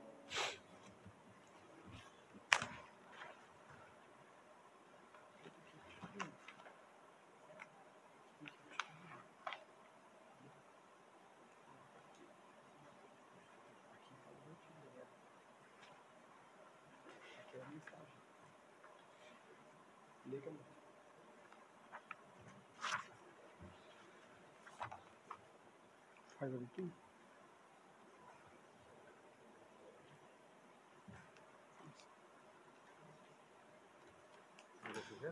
É, esse aqui os valores já foram lidos, né? Os valores já foram lidos. Posso só ler isso aqui? Isso. Aí você fala aqui.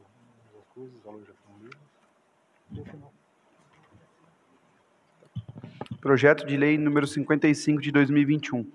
Estima a receita e fixa a despesa do município de Piedade para exercício de 2022. Geraldo Pinto de Camargo Filho, prefeito municipal de Piedade, faz saber a todos os habitantes do município que a Câmara Municipal aprove e ele sancione e promulga a seguinte lei. Do orçamento do município. Artigo 1 O Orçamento Geral do Município de Piedade para exercício de 2022 estima a receita e fixa a despesa em R$ 168.430 mil. Dos orçamentos do Poder Executivo e Legislativo. Artigo 2 O orçamento do Poder Executivo para exercício de 2022 estima a receita em R$ 168.430 mil e fixa a despesa para o Poder Legislativo em R$ 3.180 mil e em R$ 165.250 mil para o Poder Executivo. Parágrafo 1 A receita da Prefeitura será realizada mediante arrecadação de tributos, rendas e outras receitas correntes e de capital, na forma da legislação em vigor, discriminadas nos quadros anexos com, segui com os seguintes desdobramentos. Os valores já foram lidos. Parágrafo 2 As despesas dos poderes executivo e legislativo será realizada segundo a apresentação dos anexos integrantes desta lei, obedecendo à classificação institucional, funcional, progr programática e natureza econômica distribuída da seguinte maneira: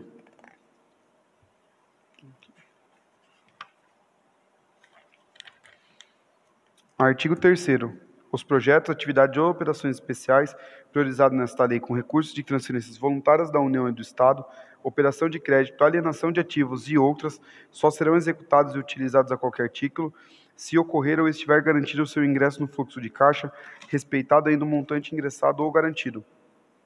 Parágrafo 1 apuração do excesso de arrecadação de que trata o artigo 43, parágrafo 3 da Lei 4.320, de 64 será realizada em cada fonte de recursos identificados nos orçamentos da Receita e despesa para fim de abertura de créditos adicionais suplementares ou especiais, conforme a exigência contida nos artigos 8 parágrafo único e 50, inciso 1 da Lei de Responsabilidade Fiscal. Parágrafo 2 o controle da execução orçamentária será realizado de forma a preservar o equilíbrio de caixa para cada uma das fontes de recursos, conforme disposto nos artigos 8 42 e 50, inciso 1 da Lei de Responsabilidade Fiscal.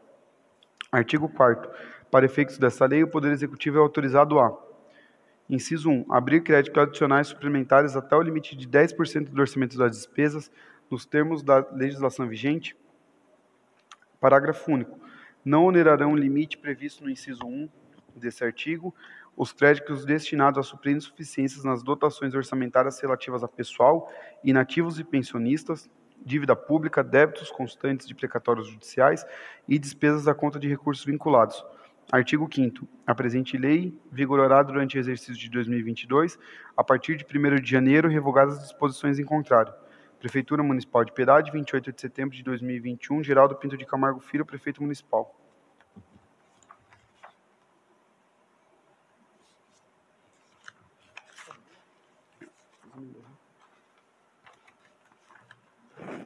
Essa presidência estende por mais 30 minutos para o término da leitura das emendas.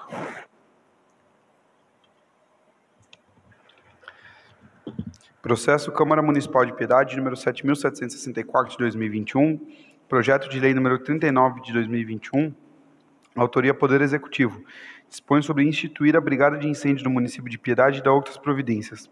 Emenda número 31 de 2021. Emenda substitutiva. Emenda número 4 do projeto. Altera a redação do artigo 4 do projeto de lei número 39 de 2021 do Poder Executivo. O artigo 4 do projeto de lei terá a seguinte redação: Artigo 4 Qualquer pessoa maior de idade obedecida aos requisitos desta lei poderá se voluntariar. Todavia, o previsto no artigo 7 aplica-se somente aos servidores públicos do município de Piedade. Justificativa. A presente emenda visa esclarecer um requisito concreto para ser possível ser voluntário. Ademais, tal emenda visa também adequar o texto para não haver uma possível invasão de competência legislativa da União, direito do trabalho. Câmara Municipal de Piedade, gabinete número 1, 30 de setembro de 2021, Vande Augusto Rodrigues, vereador DEM. Processo Câmara Municipal de Piedade, número 7703, 2021. Projeto de Lei número 16 de 2021, Poder Executivo. Dispõe sobre a primeira revisão do Plano Municipal de Saneamento do Serviço de Água e Esgoto do município de Piedade. Emenda número 32 de 2021. Emenda aditiva. Emenda número 3 do projeto. Inclui o artigo 2 e seu parágrafo único e renumera os demais dispositivos do projeto de lei número 16 do Poder Executivo. O artigo 2 do projeto de lei terá a seguinte redação: Artigo 2. Fica o Poder Executivo obrigado a apresentar no prazo de dois anos, a contar da publicação desta lei, o cronograma de obras para abastecimento de água e tratamento de esgoto nos bairros e áreas que necessitarão de métodos isolados de tratamento de água e esgoto. Parágrafo único. O cronograma de obras deverá conter situações emergenciais e metas de curto, médio e longo prazo. Justificativa. A presente emenda visa adequar o Plano Municipal de Saneamento Básico de Água e Esgoto ao marco, regular... ao marco regulatório de saneamento básico, de modo que as emendas estabelecidas no marco sejam, perdão, de, de modo que as metas estabelecidas no marco sejam atendidas e todos os bairros do município recebam a implantação de sistemas de abastecimento de água e coleta de esgoto, Câmara Municipal de Piedade, gabinete número 1, 30 de setembro de 2021, Vande Augusto Rodrigues, vereador DEM.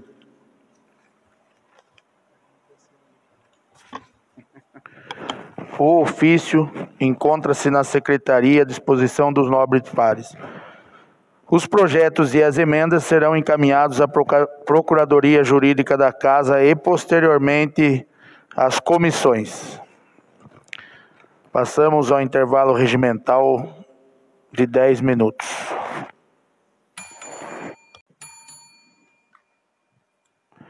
Peço à excelentíssima senhora secretária que faça a chamada regimental.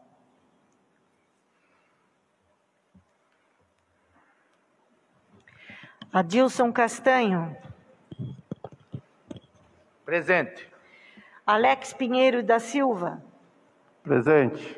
Alexandre Pereira. Presente. Caio César da Silva Martori. Presente. Jefferson Donizete Cardoso. Presente. Joacildo Xavier dos Santos. Presente. José Anésio Xavier Lemes. Presente. Maria Vicentina Godinho Pereira da Silva, presente. Mauro Vieira Machado. Presente. Nelson Prestes de Oliveira. Presente. Nilza Maria dos Santos Godinho. Presente. Valdinei Aparecido Mariano Franco. Presente. Vande Augusto Rodrigues. Presente. Todos os vereadores presentes, passamos à ordem do dia. Presidente, questão de ordem, eu vou solicitar a retirada da emenda número 8 e 9 de 2021, tendo em vista que já foi apresentada uma nova emenda que irá englobar as duas.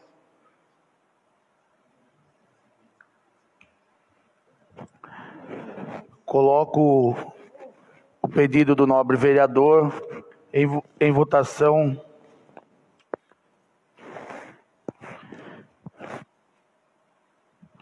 Coloco o pedido do nobre vereador em votação nominal. Os que forem de acordo de sim e os que for contrário que se manifestem. Pela ordem, presidente. Pode repetir, por favor, nobre Edil? Emenda número 8 e 9 de 2021. Não seria emenda 1 e 2, nobre vereador? É que pode ser a primeira e segunda emenda é um PL 16. É porque a emenda no nosso sistema que ela está numerada por, por ordem. Ótimo, entendidos? Podemos dar sequência? Sim. Peço que a secretária nos faça a chamada, por favor.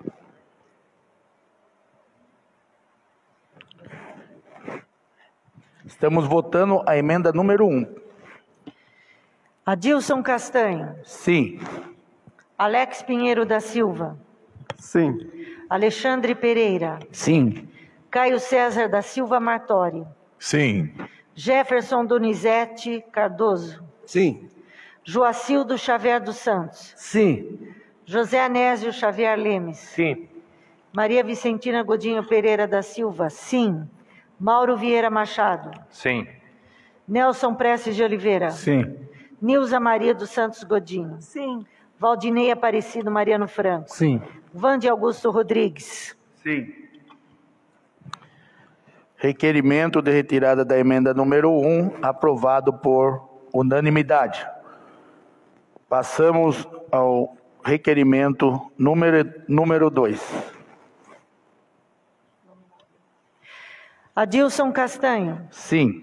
Alex Pinheiro da Silva. Sim. Alexandre Pereira. Sim. Caio César da Silva Martori. Sim. Jefferson Donizete Cardoso. Sim.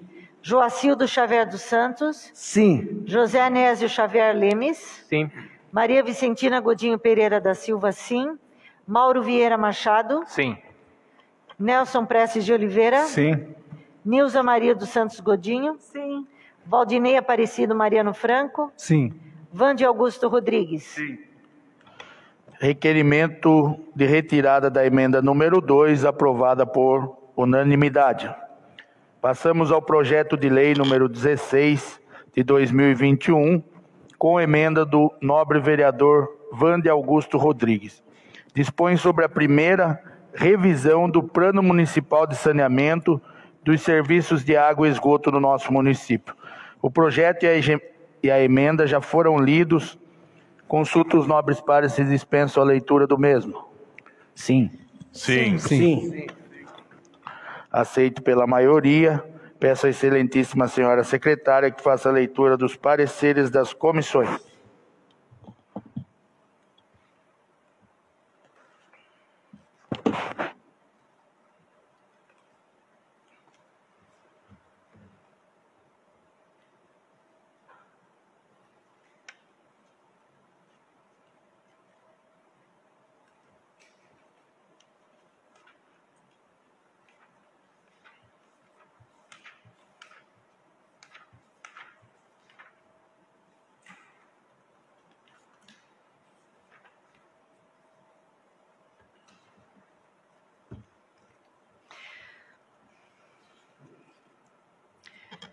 Comissão de Justiça e Redação.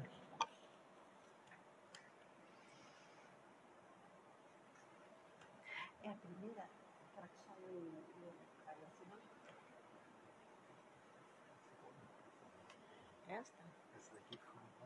Essa foi aquela primeira que só eu e, e ele assinamos, mas. E a, e a do Wander não, não tem. Tá. Hum? É isso. Parecer de Justiça e Redação. Processo 7.703-2021, projeto-lei número 16-2021, a autoria da Prefeitura Municipal dispõe sobre a primeira revisão do Plano Municipal de Saneamento dos Serviços de Água e Esgoto no município de Piedade. Exposição da matéria. O presente projeto, apresentado pelo prefeito Geraldo Pinto de Camargo Filho, tem como objetivo implementar a primeira revisão do Plano Municipal de Saneamento dos Serviços de Água e Esgoto no município de Piedade. 2. Parecer do relator. O projeto de lei em epígrafe tramita de forma regular nesta Casa, tendo sido efetivada a leitura em plenário, emissão de parecer jurídico e realização de audiência pública. O projeto de lei é extenso e complexo, por isso demandou um estudo de diversas normas para emissão do parecer. A primeira constatação é o que o projeto trata apenas de água e esgoto, não tratando do saneamento básico como um todo, pois este engloba ainda a disposição e destinação final de resíduos sólidos e manejo e drenagem de águas pluviais urbanas, sendo esses dois últimos não tratados no referido projeto de lei. O debate com a sociedade civil deve ser. eh, foi feito com audiências públicas, requisito cumprido através da audiência realizada em 18 de agosto de 2021 na sede da Câmara Municipal de Piedade. Há pontos importantes a serem analisados no projeto 16-2021 do Executivo, no que se refere a metas de ampliação da oferta de serviço de água e esgoto no município de Piedade. A Lei Federal 4026-2020, conhecida como Marco Legal de Saneamento Básico, prevê até 31 de dezembro de 2033 o- eh, que os municípios atinjam o atendimento de 99% da população com água potável e 90% da população com coleta e tratamento de esgotos. Esta é, é uma meta ambiciosa e necessária, porém de cumprimento desafiador. O projeto em análise prevê o 100% de ambos os serviços, mas daquilo que classifica como área atendível. Entretanto, ponderamos que o marco legal cita o atendimento da população né, e, não, e não de áreas, não da área atendida. Devemos observar que existe outro projeto de, de lei tramitando nesta casa, intimamente ligado ao projeto 16-2021, que depende de aprovação para também ser aprovado. Trata-se do projeto de lei do Executivo número 14, que institui o controle social colegiado dos serviços públicos de saneamento básico e o Fundo Municipal de Saneamento Ambiental e de Infraestrutura de Piedade.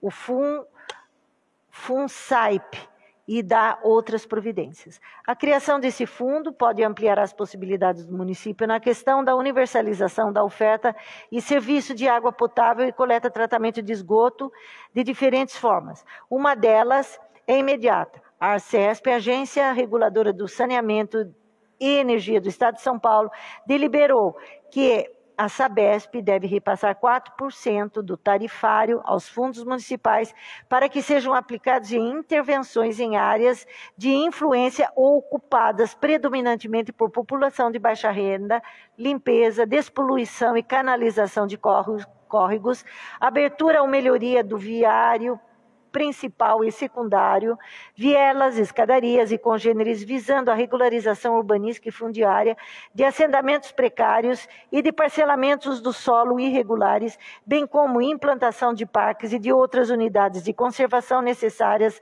à proteção das condições naturais e da produção de água do município, do reservatório para o amortecimento de picos de cheias, de áreas de esporte, de obras de paisagismo e de outras e de áreas de lazer. Essas ações possibilitarão a recuperação das nascentes e criação de reservatórios e, consequentemente, ampliação além das metas estabelecidas. Outra possibilidade de criação do fundo prevê que o fundo prevê é o recebimento de recursos de outros fundos estaduais e federais, verbas essas que também podem incrementar o aumento dos referidos serviços.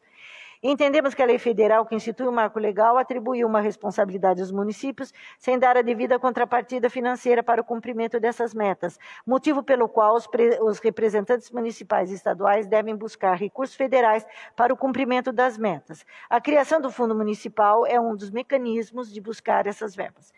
Por fim, o município ainda precisa apresentar o plano de resíduos sólidos e manejo de águas pluviais para completar efetivamente o plano municipal de saneamento. Entendemos que o município está há quase um ano perdendo de receber 4% da tarifa pela falta de aprovação dos projetos de lei número 14 e 16, o que daria autonomia para realizar diversos investimentos que já poderiam resultar em maior oferta do serviço. Além disso, tramita na Câmara Federal o projeto lei número é, 1414 de 2021, tem aqui o endereço eletrônico, que prevê a prorrogação dos prazos para as propostas de universalização e saneamento básico que sejam feitas até 22 de novembro de 2022. Por esses motivos, entendemos que a aprovação do presente projeto deve ser feita por essa Casa de Leis e com novas possibilidades financeiras e as metas possam ser cumpridas. Conclusão: diante de todo o exposto, entendemos que o presente projeto deve ser aprovado para que o município tenha suporte financeiro para o cumprimento das metas. É o parecer, Sala das Comissões, 23 de setembro de 2021. Assinado Maria Vicentina Godinho Pereira da Silva, Caio César da Silva Martori. Relator. Comissão de Finanças e Orçamento Após a devida apreciação em consonância com as prerrogativas dessa comissão, não há objeções do presente projeto de lei. Sala das Comissões, 23 de setembro de 2021, Joacildo Xavier dos Santos, presidente, José Anésio Xavier Lemes, vice-presidente e Alexandre Pereira, membro. Comissão de Obras e Serviços Públicos, após a devida apreciação em consonância com as prerrogativas dessa comissão, não há objeções ao presente projeto de lei e deve seguir o seu trâmite nesta casa. Somos pela aprovação do projeto de lei. Assinado Jefferson Donizete Cardoso, presidente, José Nésio Xavier Lemes, vice-presidente e Alex Pinheiro da Silva, membro. Comissão de Educação, Cultura, Saúde, Assistência Social, Turismo e Esporte. Após a devida apreciação em consonância com as prerrogativas dessa comissão, não há objeções ao presente projeto de lei que deve seguir o seu trâmite nesta casa. Somos pela aprovação do projeto de lei. Assinados Alexandre Pereira, presidente, Nilza Maria dos Santos Godinho, vice-presidente, e Valdinei Aparecido Mariano Franco, membro. Comissão de Agricultura, Pecuária e Meio Ambiente. Após a devida apreciação em consonância com as prerrogativas desta comissão, não há objeções ao presente projeto de lei que deve seguir o seu trâmite nesta casa. Assinado Nelson Prestes de Oliveira, presidente, Joacildo Xavier dos Santos, vice-presidente e só. E Mauro Vieira Machado, membro.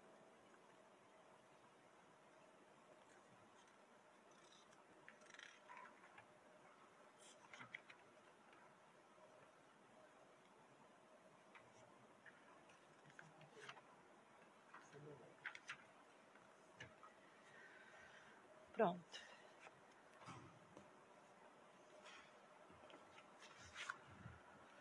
Coloco em discussão a emenda número 3.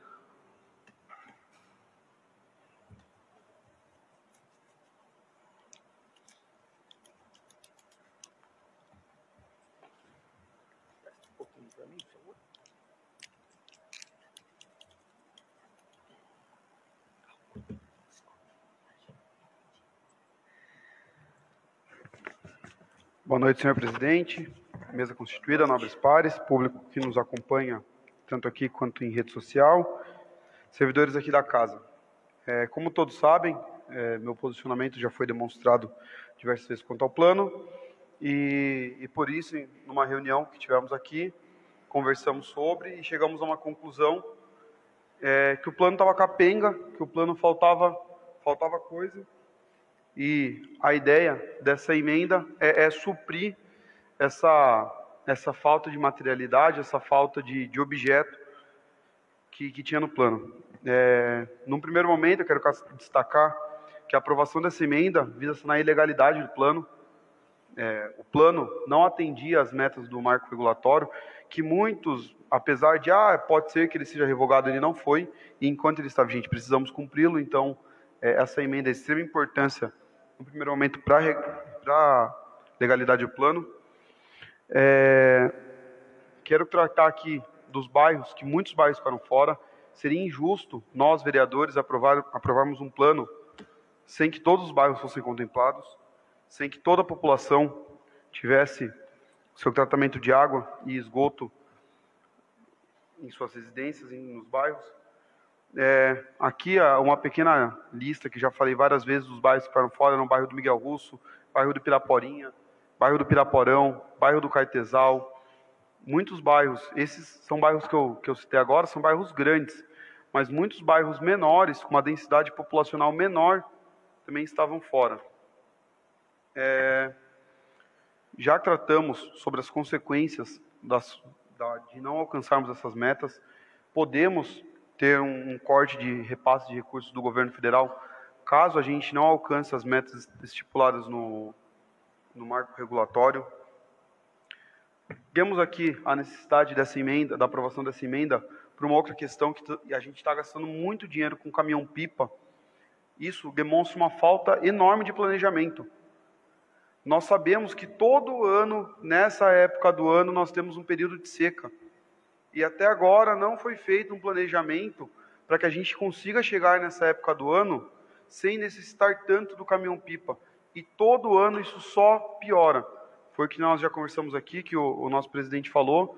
É, esse é um jeitinho que acabou virando a solução e vai ficar de eterno se a gente não, não aprovar essa emenda. É, nobres pares, é, é bom a gente, a gente frisar Saneamento básico é básico. É o mínimo que um ser humano tem que ter. É água potável para consumo, é o seu esgoto tratado. A gente tem que pensar que o esgoto não é só uma questão de saneamento, é uma questão de saúde pública, é uma questão ecológica, é uma questão, se formos pensar, econômica para o nosso município. Um primeiro ponto, que há estudos que já comprovam que a cada um real que a gente investe em saneamento básico, a gente economiza quatro em saúde. Mas aqui é uma outra questão que a gente pouco discutiu. Por exemplo, o bairro do Miguel Russo. O bairro do Miguel Russo tem até ação civil pública, porque lá a água é contaminada. Se pararmos para pensar, temos vários produtores que lavam os seus produtos com essa água contaminada. Pode ser que cedo ou tarde a gente tenha algum problema que vá ocasionar um problema econômico. Essa água, uma, hoje, graças a Deus, ainda não contaminou nossos alimentos. Nossos alimentos ainda se mantêm com qualidade. Mas e se uma hora continuar dessa forma, contaminarem? Para onde vai levar? Podemos sofrer embargos, podemos sofrer sanções, podemos ter problemas com outros municípios que deixarão de comprar do nosso município, podemos ter crises de saúde. Conversei com o Éder da Sabesp, num dia que fomos fazer uma visita no bairro do Poço, e ele me relatou quando essa ação civil pública, a Sabesp foi, foi intimada a se manifestar nos autos, eles juntaram fotos, as crianças com balde, aquelas fotos que a gente vê naquelas, quando a gente está na escola, de coisas que a gente acha que só acontece na África, acontece aqui. Criança tendo que andar quilômetros com balde para pegar água limpa, porque não tem água limpa na porta de casa. É, não, e voltando à emenda, não acho que seja adequado nós darmos esse prazo de dois anos, porque esse projeto deveria ter sido atualizado em 2017. O ex-prefeito teve sim muito tempo, ele teve o mandato dele inteiro para atualizar esse plano, não fez por negligência. Inclusive, isso, ao meu ver, configura crime de responsabilidade, vez que ele deveria ter atualizado esse plano, ele não cumpriu, ele não cumpriu o que está disposto em lei, mas a bomba está aqui para a gente resolver. Prefe... Esse plano foi apresentado em 2019, foi retirado. Em 2020 foi, repro... foi reprovado porque estava mal feito. E agora a gente está já em outubro votando porque houve também uma omissão do Poder Executivo dessa, dessa gestão. Então, acho sim que não seria o adequado darmos dois, dois anos para estudos, mas infelizmente nós não temos estudos. Passou todo esse tempo e ninguém fez estudo. Então, apesar de não ser adequado, é razoável que esse prazo de dois anos seja observado e estamos aqui para fiscalizar e fazer com que o Poder Executivo cumpra esse prazo de dois anos, para que daqui dois anos a gente não tenha que ficar cobrando para que ele faça o que foi pactuado agora e o que, se Deus quiser, será aprovado nesta lei. Então, peço aprovação da emenda e qualquer outra questão podemos discutir na, na redação final do, do projeto. Muito obrigado a todos. Que agradeço. Continua em discussão a emenda.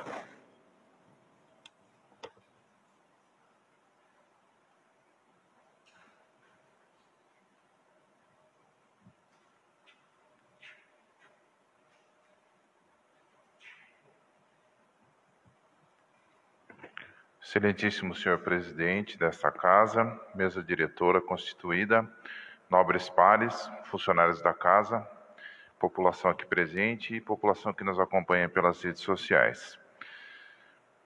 A discussão dessa emenda, na verdade, ela é central e crucial para a aprovação do projeto de lei. Por isso eu vou discutir é, as consequências da, dessa emenda e do projeto em si. Como o nobre vereador Vande destacou, a emenda é, que impõe a obrigação ao poder público municipal, que é quem tem o dever de apresentar o plano de saneamento básico, impõe esse dever de que ela apresente os estudos para cumprimento do, do marco regulatório de saneamento básico, que é uma lei federal, que, como bem explicado aí no parecer, determina que até 2033 nós tenhamos quase 100% de água e esgoto. Né? Tem as metas lá de 90%. E, então, para a população entender, nós fizemos cinco reuniões de trabalho oficiais, né? fora outras discussões que nós tivemos aqui interna na casa. Nós tivemos uma audiência pública que teve bastante participação do público, público presente aqui, reivindicando principalmente a questão da falta de água potável em suas localidades.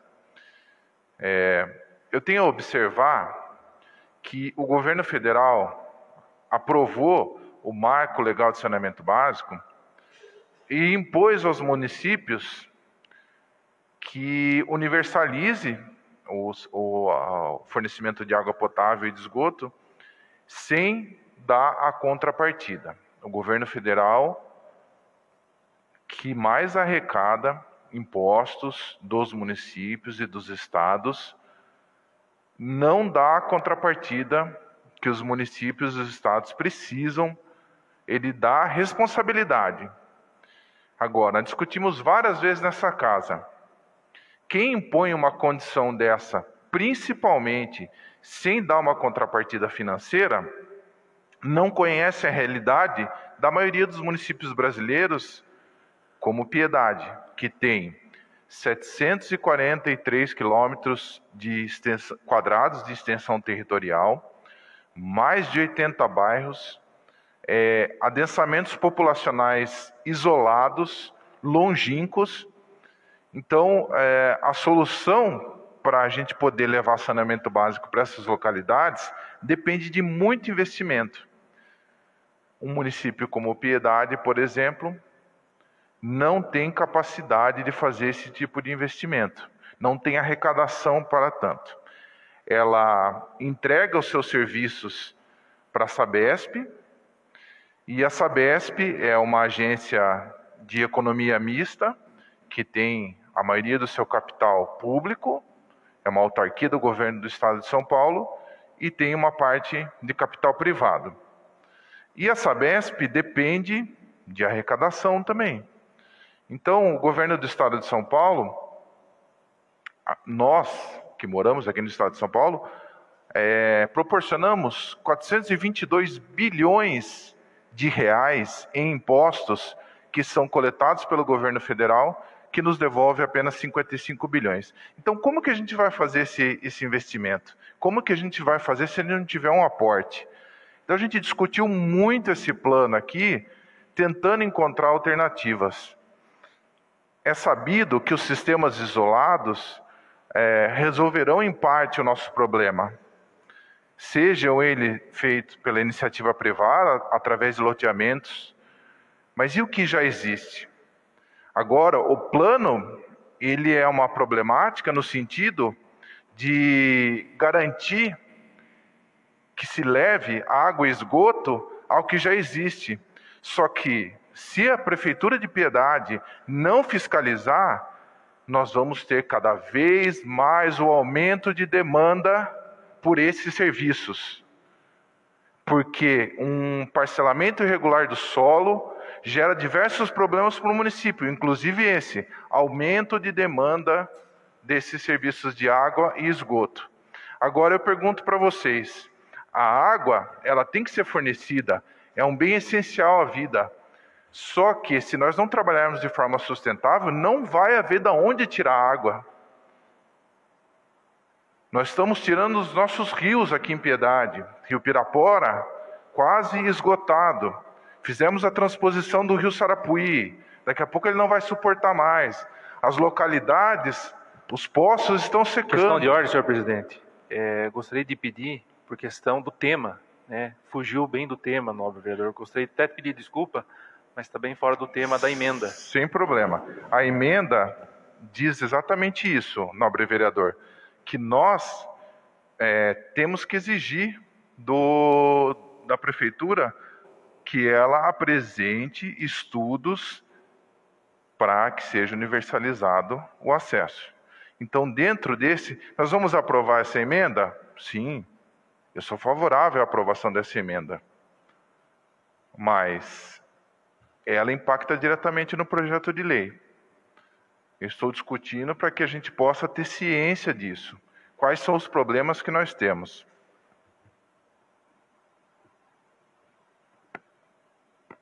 Eu sou favorável à aprovação da emenda. Foi uma conquista é, dessa casa através dessas discussões que eu citei aqui, através da audiência pública, da discussão nas comissões, né? É, é importante que a gente aprove essa emenda para ter uma garantia da apresentação desse estudo.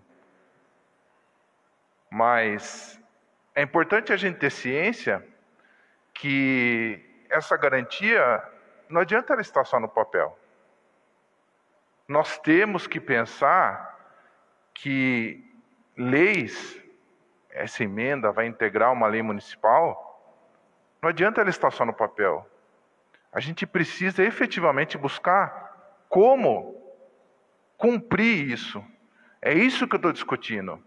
A gente discutiu muito aqui o plano de como cumprir uma meta que hoje parece inviável, mas que é necessária. Então, para a gente votar, nobre vereador, a aprovação dessa emenda, a gente precisa ter em mente o que ela significa, o que ela representa. Ela representa que a prefeitura vai ter que fazer estudos amplos no município todo, nos 743 quilômetros quadrados, nos mais de 80 bairros que ainda não têm é, fornecimento de água potável e de saneamento básico, vai ter que apresentar para essa casa o cumprimento dessas metas. Então. Permite uma é, parte, nobre vereador? Pois não. Só título de contribuição. É, o total de bairros são 80 e poucos bairros, né? Ah, Na, não que não tenha saneamento em todos. Sim, é verdade. É, mas é, nós temos um grande número que não, não tem. É por isso que a gente está aqui discutindo. Bairros grandes, como foi citado aqui, Miguel Russo é um deles. Então, a gente precisa ter ciência que a gente vai cobrar, sim, do, do poder público, mas a gente precisa discutir muito como criar essas alternativas. Então, obviamente, eu sou favorável à emenda. Vou deixar, então, para me aprofundar mais na discussão do plano, mas a gente precisa saber exatamente qual a consequência para que não se torne apenas uma lei no papel. A gente precisa discutir alternativas que façam com que essa emenda se torne executável, viável. Era isso, presidente. Obrigado. Eu que agradeço. Continua em discussão a emenda.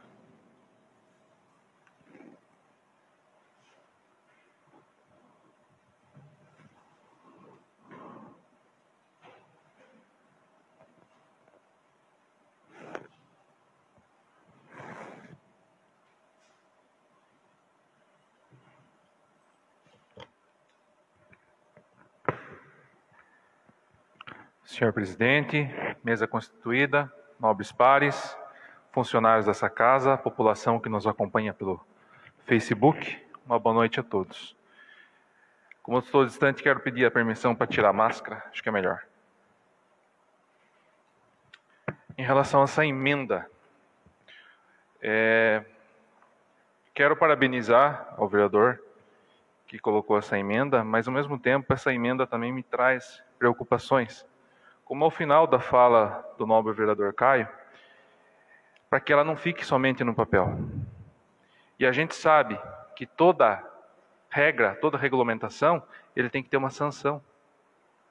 E se não for cumprido essa emenda, se não for cumprido essa obrigação, qual é a sanção que o executivo vai ter?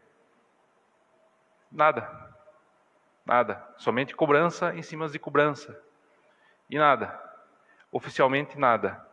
Então o que acontece? Eu vejo que é uma lei importante, é uma emenda importante? É. Traz a preocupação de atender o marco legal? Traz. Mas efetivamente ela corre-se o risco de ser mais uma lei que não é cumprida, de ser mais uma regra que não é cumprida. Né? Porque o próprio plano deveria estar cumprindo isso. Como bem disse, o marco foi em 2020. Teve tempo para fazer projetos, teve tempo para fazer levantamentos. E quando eu falo isso, pelo seguinte, gente, somente por questão de ilustração, no mandato passado fiz um simples requerimento para levantar todas as estradas que, mereci, que tinham é, condições de receber denominação. E a resposta foi que não tinha condições suficientes para levantar essas informações. Agora imagina um projeto complexo desse tamanho a dificuldade que isso vai ter. Né? Então, eu vejo a preocupação, eu vejo que é uma emenda importante, mas ao mesmo tempo eu tenho essa pulga atrás da orelha com relação ao cumprimento dessa regra. É, só para citar como exemplo, o plano diretor, ele tem por obrigação de 10 em 10 anos ser atualizado. Tinha obrigação em 2016 ser atualizado. agora que está chegando aqui, na, chegou nessa casa, para ser realmente atualizado. E qual é a sanção? Qual é a penalidade? Improbidade administrativa do prefeito. Está aqui, ó, na Lei 10, 257 de 2001. Lá no artigo 52, inciso 7. Então, isso que tem penalidade, olha a dificuldade que está tendo. Agora, imagina uma que não tem penalidade alguma. Essa é a minha preocupação. Vereador, sou favorável, sou favorável à lei, à, à emenda, né? Como eu falei, gostaria de parabenizar. Sou favorável à emenda, mas deixa essa preocupação e o vereador queria parte? Sim? O artigo 1 do Decreto-Lei 201 de 67, que depois foi atualizado pela, pela Lei de Responsabilidade, são crimes de responsabilidade dos prefeitos municipais sujeitos ao julgamento do Poder Judiciário, independentemente do pronunciamento da Câmara de Vereadores. O inciso 14 traz negar a execução de lei federal, estadual ou municipal, ou deixar de cumprir ordem judicial sem dar motivo da recusa ou da impossibilidade por escrito à autoridade competente. Ou seja, é o nosso papel como vereador fiscalizar o cumprimento desta lei e não havendo, até também é que é, o, o nobre vereador Caio falou, é, não havendo cumprimento dessa lei também, tenho medo de que não seja cumprido, mas é exercer nosso papel de, fiscaliza de fiscalização e levar a, a autoridade competente para o judiciário, para o MP, para o Tribunal de Contas, caso o prefeito não venha cumprir. O prefeito tem obrigação legal de cumprir uma lei, seja ela estadual, federal ou municipal. Então, é obrigação dele sim, e caso não seja cumprido, devemos levar às autoridades. Sim, vereador. É, gostaria de agradecer a contribuição, mas como eu disse, como eu citei como exemplo, a questão do plano diretor, que até hoje não foi. Existem justificativas. As justificativas, muitas vezes, vai postergando essa questão. Então é aí a dificuldade. A lei existe, mas muitas vezes ela não é executada. A gente sabe disso. A gente Uma tem parte, essa consciência. Sim, é. Se você falou aqui em relação que o vereador tem que fiscalizar, por que que no mandato passado ninguém fiscalizou e está soltando para gente agora? Essa parte porque desde 2016 Estamos em 2021. De lá para cá, inclusive tem alguns vereadores no segundo mandato, acho que o senhor mesmo, não fez nada em relação a isso? O senhor já concluiu? Já. É, muito bem levantado, nobre vereador baiano, mas eu acredito que o senhor não acompanhou, porque existe um Ministério Público várias respostas da prefeitura em relação ao Ministério Público. Eu, como vereador na época, fiz vários questionamentos, várias falas em tribuna em relação a isso. Então, fiz minha, o meu dever de vereador e o Ministério Público fez o dever dele de fiscalizador também. Então, existiu sim. Né, eu acho que o senhor não, não tinha esse conhecimento. Né, mas em relação a essa emenda específica, é, eu sou favorável também. Né, eu vim aqui é, justamente para colocar o meu ponto de vista e a minha preocupação com relação à emenda. Eu sou favorável. Por quê? Para melhorar o projeto. Porque esse projeto é ruim demais, gente. A gente sabe muito bem que não está sendo atendido muita coisa nesse projeto. É isso a minha fala. Obrigado. Continua em discussão.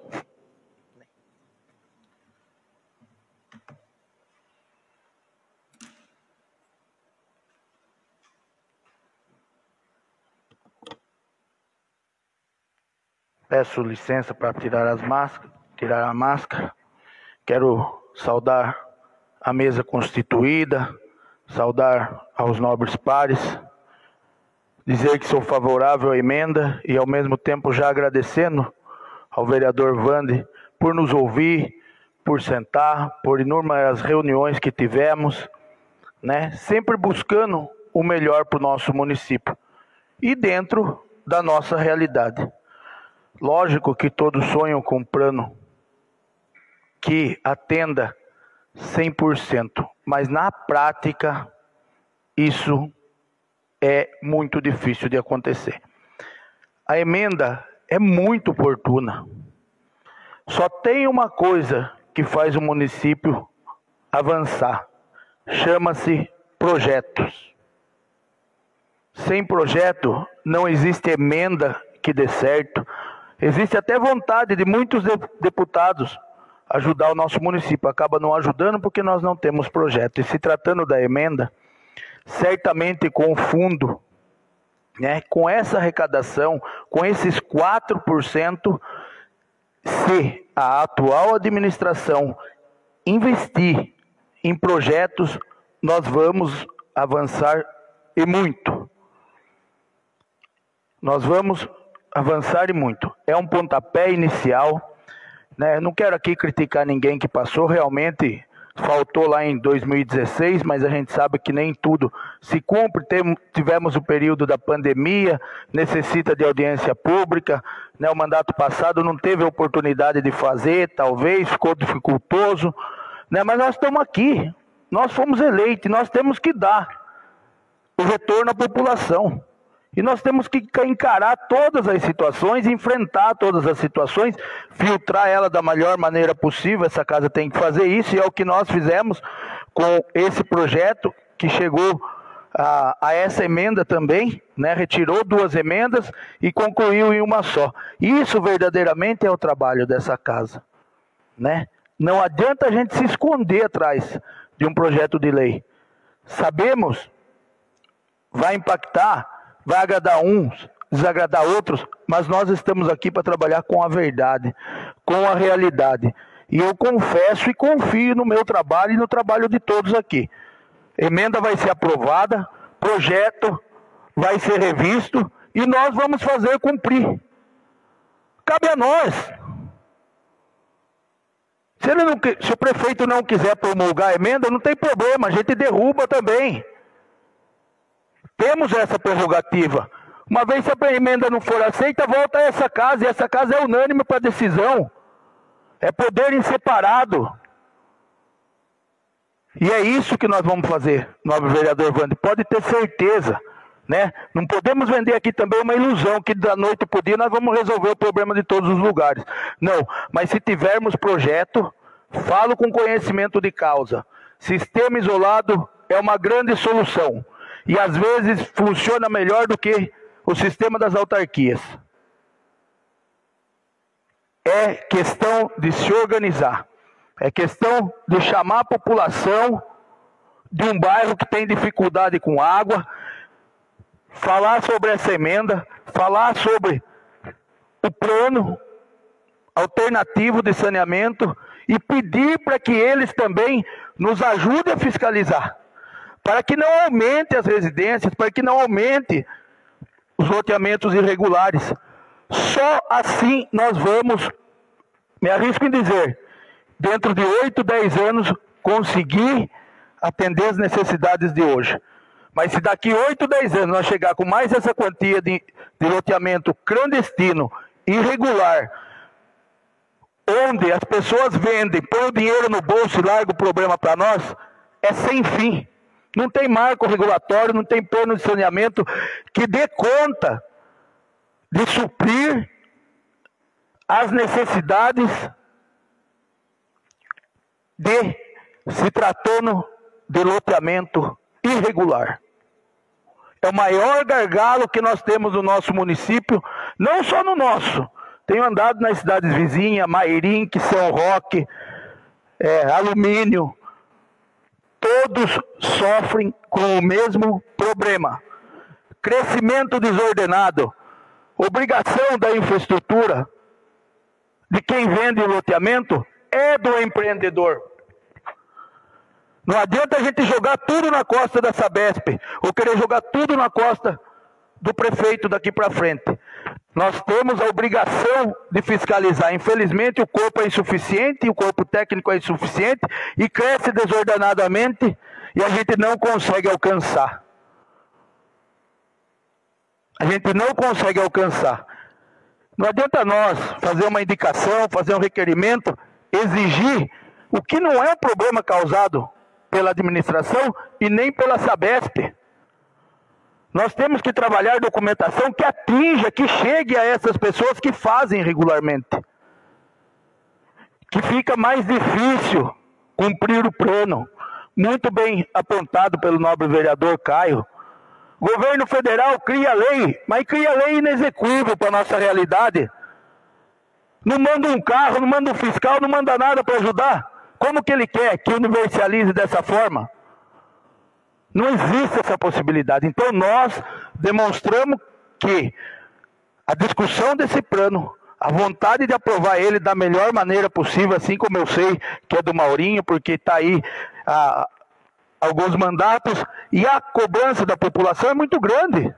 Para ele atravessar o bairro dele, eu me arrisco a dizer que todo mês um reclama, ver se vai chegar água. E ele vai cobrar de quem? Ele vai cobrar da autarquia que está aqui, nós vamos cobrar do prefeito, mas a coisa tem que tomar uma proporção maior. Onde quem cria o marco regulatório, ele tem por obrigação de ajudar os municípios a cumprir com isso. Vamos sim fazer a nossa parte. Essa emenda vai dar muito certo. Me arrisco em dizer que no próximo ano nós estamos comemorando aqui algum projeto nesse sentido de estudos de levantamento, né? Concordo que é difícil, até às vezes pela estrada, mas eu conheço no mínimo, conheço no mínimo 20 pontos do nosso município que necessita de água e esgoto. Se a gente relacionar e levar as demandas, já ajuda e muito. Se o prefeito investir em um técnico para fazer isso, a coisa anda, a coisa caminha. Os nomes são fáceis de citar dos, dos piores lugares do município com dificuldade de água. Então esse desenho a gente tem. Hoje a tecnologia é super avançada para saber se naquele solo tem água, se não tem, né? Então a gente tem facilidades. E a gente tem que caminhar nesse sentido. Aí sim nós estamos fazendo, falando de uma realidade possível de acontecer. Né? A gente exigir sim o direito que é de todos, de água tratada e o esgoto coletado, mas com projetos. Como vamos, faz, como vamos fazer isso? Citar como exemplo o Murumbi, mais, um dos bairros mais nobres de São Paulo. O esgoto é coletado através de fossa. Eu trabalho com aprovação de empreendimentos. Três, quatro empreendimentos aprovados pela CETESB, Graproabre, Meio Ambiente, com biodigestor, sistema alternativo, abastecimento de água através de poço artesiano. Então isso mostra que é possível um sistema isolado. E se nós tivermos projeto, tenho certeza que muitos deputados vão abraçar essas causas, ONGs vão abraçar essa causa, como já foi caso no Miguel Russo, né? Já teve movimento pelo Rotary, né? De acudir. É só a gente dar as mãos. Aí sim a gente torna tudo isso possível. Obrigado.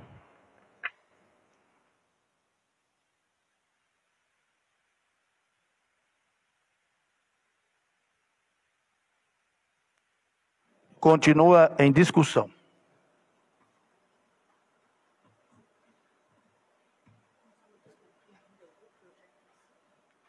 Senhor presidente, dispenso aí a mesa constituída.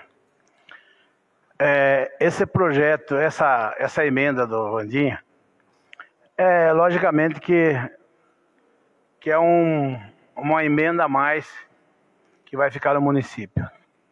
Porque a gente sabe que você já imaginou você levar uma água lá na, por exemplo, na Cachoeira da Fumaça, né? Sabe até quando que vai sair isso daí? Nunca.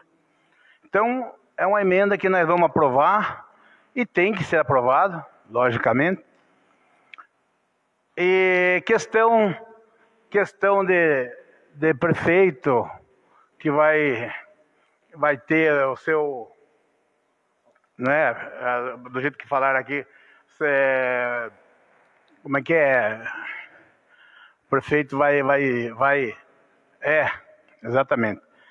E isso daí não adianta nada, porque foi mandado, né, foi questionado muita vez e não se deu em nada. Né? E agora o vereador baiano, ele está aí, hoje ele está aí. Ele questionou da vez passada e ele está ali hoje. Então, tem, o senhor vai ter muito trabalho para questionar isso daí, viu, vereador? Então, vamos ver se o senhor vai fazer alguma coisa também. Porque nós fizemos, tentamos e não conseguimos. Vamos ver se o senhor vai conseguir. Daí o senhor pode questionar. Uma parte, nobre. Encerrou a fala, não pode mais. Continua em discussão a emenda.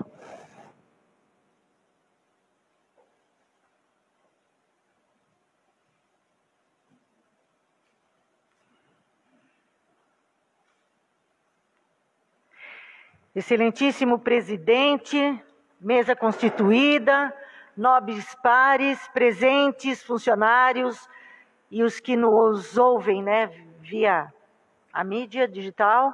Uma boa noite a todos.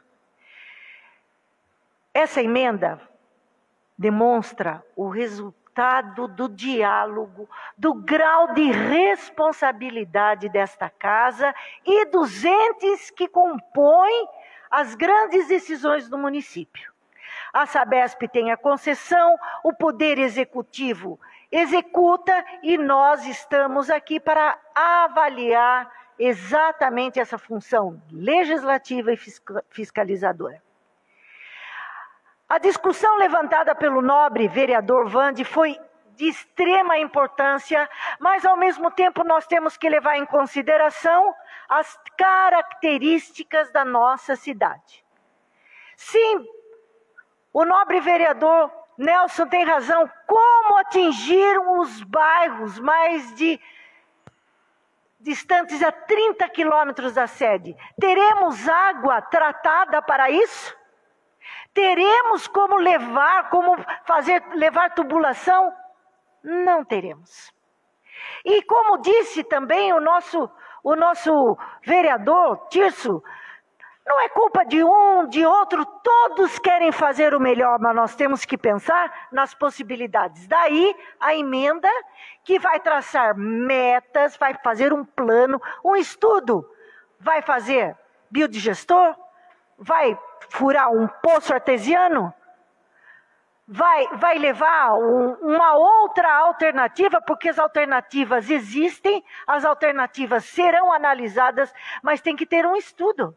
Se não tiver esse estudo, não adianta a gente falar assim: olha, lá para o bairro X, nós vamos fazer tal coisa. Vamos ver quantos poços foram furados no Miguel Russo, quantos poços foram furados no Sarapuí dos Antunes, quantos poços foram Quantas tentativas foram feitas para levar água no bairro dos Correias? Isso significa que sim, buscamos.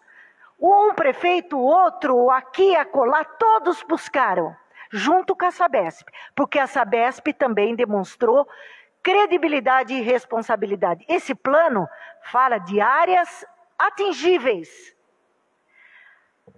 E aí vem a questão dos, do fundo e a importância de ter projetos, porque 4% de toda a arrecadação da Sabesp, no mínimo, né, 4%, porque nós podemos correr atrás de emendas, uh, outras alternativas. Não é esse fundo, ele será composto com 4%, no mínimo, 4% no mínimo da, da arrecadação da Sabesp que vai ser depositado. E aí a questão dos projetos das, dos estudos, resultado dos estudos, onde esse, esse, esse, esses, esses valores, onde que eles serão ocupados. Pode Uma ser. Uma parte, nobre. Pois não. Sobre esse 4% que a senhora está falando, eu gostaria de saber se ele vem desde 2016. Não. Ou é, ou é agora que foi lançado? Não, é, é, é agora. Eu não sei exatamente a data, para dizer bem a verdade, não é desde 2016. me É, a regulamentação da Arcesp é de maio de 2019. Maio... Ela, ela, poderia ter, já está em vigência a partir de 2020. Mas nós precisamos do plano aprovado, Sim, do plano desse aprovado. estudo, para depois esse, esses 4%. Então nós estamos perdendo. Sim. Então, é, é sobre isso que eu queria chegar. Por que, que não aprovaram, então, assim que foi regulamentado, vamos dizer, 2019? Pela ordem, está virando discussão e, na verdade, é, né, um bate-boca, vamos, vamos se manter na ordem da, da linha da emenda, senão fica difícil para a gente tocar a sessão. Olha, nesse momento, não, eu só posso dizer que comigo. o plano, o plano, esse plano de saneamento de água esgoto realmente já passou por essa casa, mas não tinha tido a discussão, a, a, a questão da, da, audiência pública. E aconteceu. Ele tem problemas? Ele é um, não é um plano completo? Não é. Mas a gente tem que pensar no benefício e essa emenda com estudo, o que vamos fazer no, no bairro do Piraporão, o que nós vamos fazer no bairro aqui do Barreiro, o que nós vamos fazer lá, lá no bairro do Sarapuí dos Antunes, o que nós vamos fazer? Esse plano, e espero sim cobrar. Espero sim que todos façamos a nossa grande obrigação, que é fiscalizar. E agradeço. Obrigada, presidente. Eu que agradeço. Continua em discussão a emenda. Não havendo vereador para discutir, coloco em votação.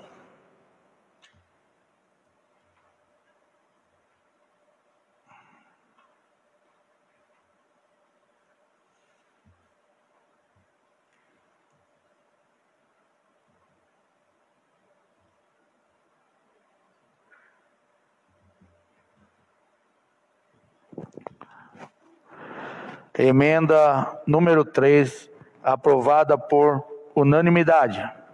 Coloco em discussão o projeto.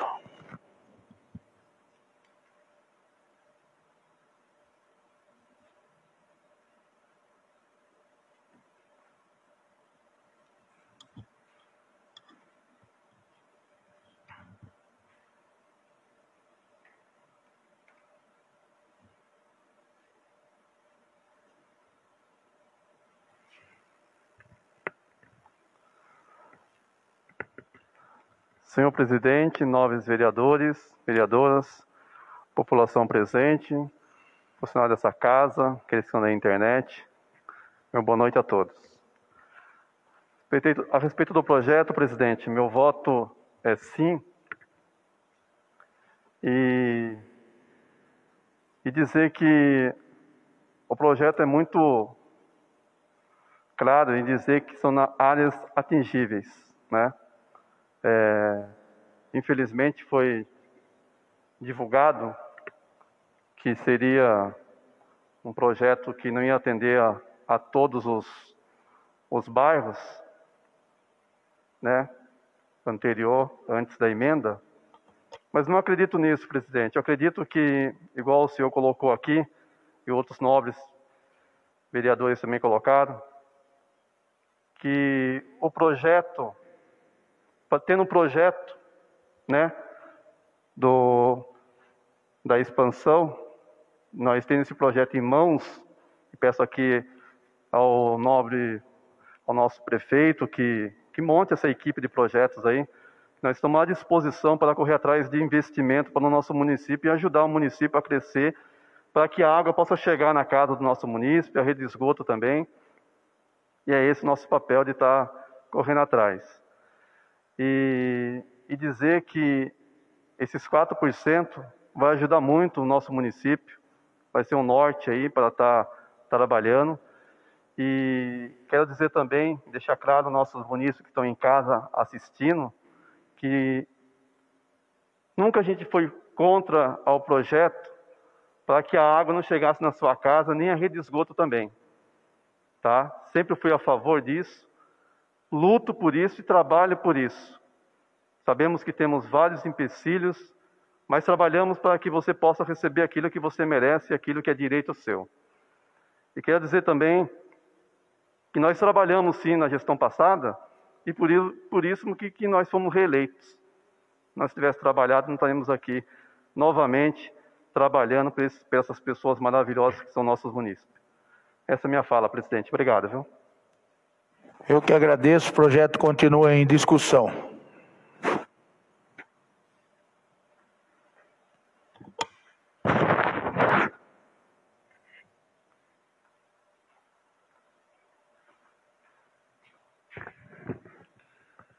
Presidente, peço dispensa das formalidades regimentais. E, enfim, agora vamos discutir o plano em si. A minha intenção era aproveitar os 10 minutos da discussão da emenda, que está relacionada ao projeto, para a gente poder demonstrar para a população tudo que envolve o projeto. Mas, como não, não consegui falar tudo sobre, estou aqui para discutir o projeto em si, que é o Plano Municipal de Água e Esgoto. Para a gente poder avançar, é necessário a gente ter em mente o que a gente já discutiu aqui. Será que o município de Piedade, até 2033, não vai ter nenhum parcelamento irregular de solo mais? É essa a pergunta que eu deixo aqui. Porque apresentar um plano, ainda que ele fosse é, adequado ao marco legal de saneamento, que cumprisse as metas, para que essas metas fossem cumpridas, a gente não poderia ter mais nenhum parcelamento irregular do solo.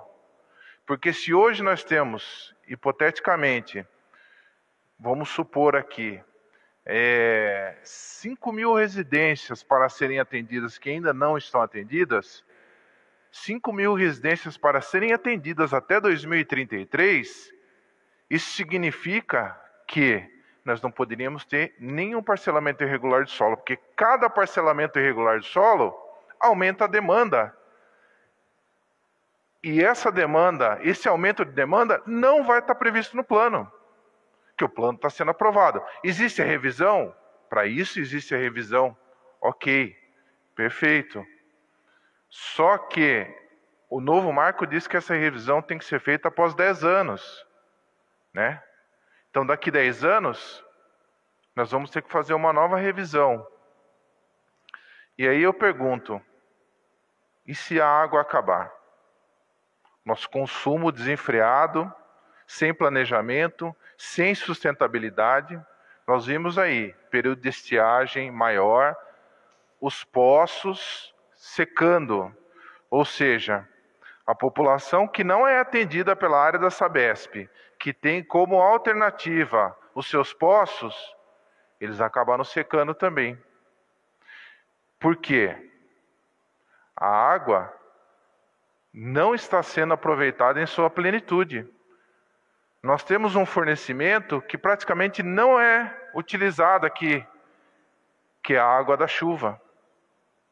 Então eu insisto, nós temos que criar mecanismo para que as pessoas coletem a água da chuva para utilizar para diversos fins, porque a água que nós recebemos na nossa casa, tratada pela Sabesp, vocês sabem, ela não é só para beber.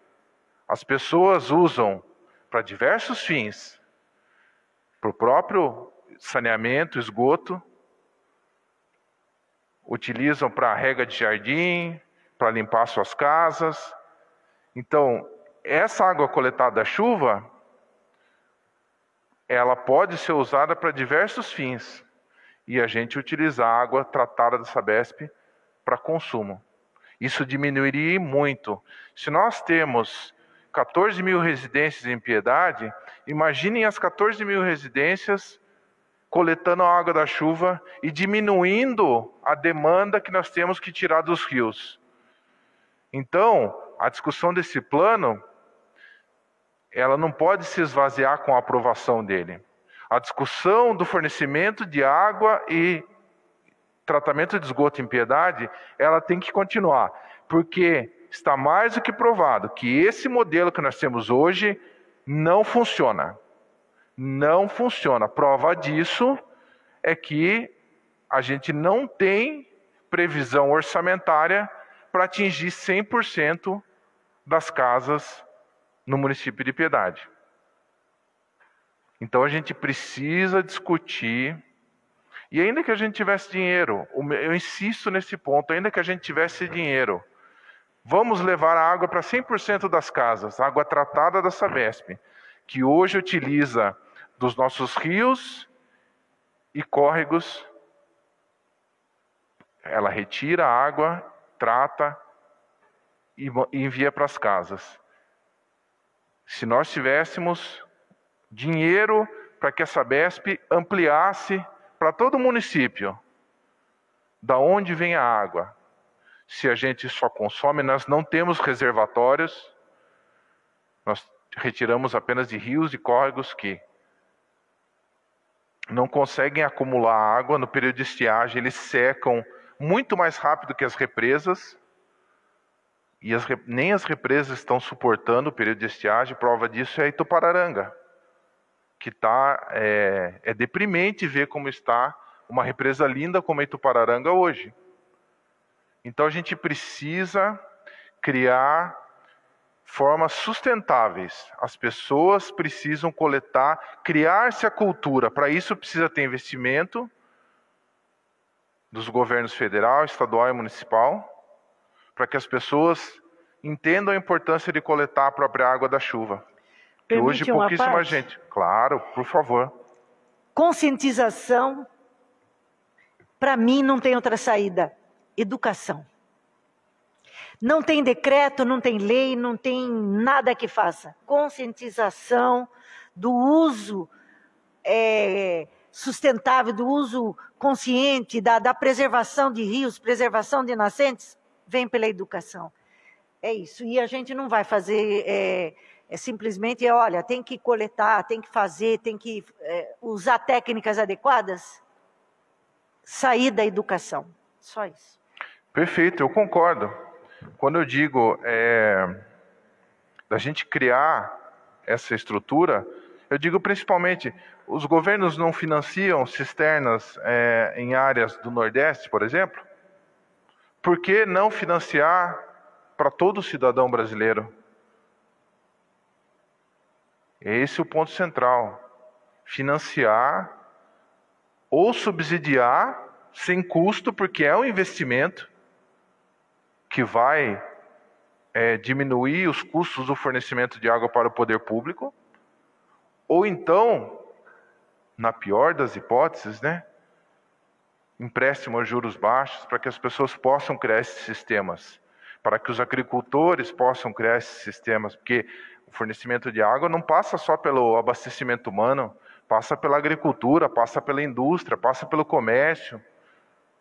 É muito complexo. E nós precisamos discutir a sustentabilidade, porque o modelo que nós temos hoje não funciona, está provado. Nós estamos exaurindo os nossos corpos d'água sem conseguir atingir a todos.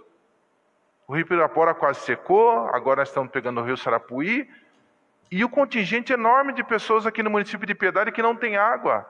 Quer dizer, a gente usa, usa, usa, usa, não é suficiente e tem um grupo enorme de famílias que não tem água. Então a gente precisa parar e repensar e reconhecer que esse modelo atual não funciona. A gente precisa de múltiplas soluções, porque senão, uma hora a água vai acabar. É muito nítido isso. E daí não adianta a gente ficar discutindo é, que é obrigação de X, Y, Z, do governo federal, do governo do estado, do governo do município, da Sabesp, não adianta a gente ficar discutindo, porque a hora que a água acabar, não adianta discutir culpado, todos nós vamos ser atingidos. É por isso que nós precisamos discutir muito isso. Nós perdemos aqui, durante um ano, os 4%, que pelos cálculos daria aproximadamente 400 mil reais, que já poderiam ter sido investidos no município. É óbvio que isso foi é, por não ter sido aprovado, a, a nossa Procuradoria Jurídica entendeu sabiamente que os projetos estão interligados, né? A criação do fundo e a aprovação do plano. E aí a gente perdeu porque essa casa queria exigir mais. E o fruto dessa exigência é essa emenda, que foi discutida em conjunto aqui, apresentada pelo vereador Vande. Foi um consenso da casa junto com o executivo. A gente que quer sempre mais. Nosso papel aqui é defender a população e nós estamos fazendo isso. Mas a gente tem que analisar sobre todos os aspectos. A gente tem que analisar que possibilitar. Eu estou fazendo um projeto para conseguir verba do governo do estado para saneamento básico. Mas a gente precisa ter um fundo. A gente precisa captar dinheiro de outros fundos. Então a gente precisa observar todos os pontos para a gente poder avançar. Então a gente aprova esse projeto hoje, mas com a certeza que nós vamos continuar discutindo, exigindo e buscando soluções. Obrigado, presidente. Eu que agradeço, o projeto continua em discussão.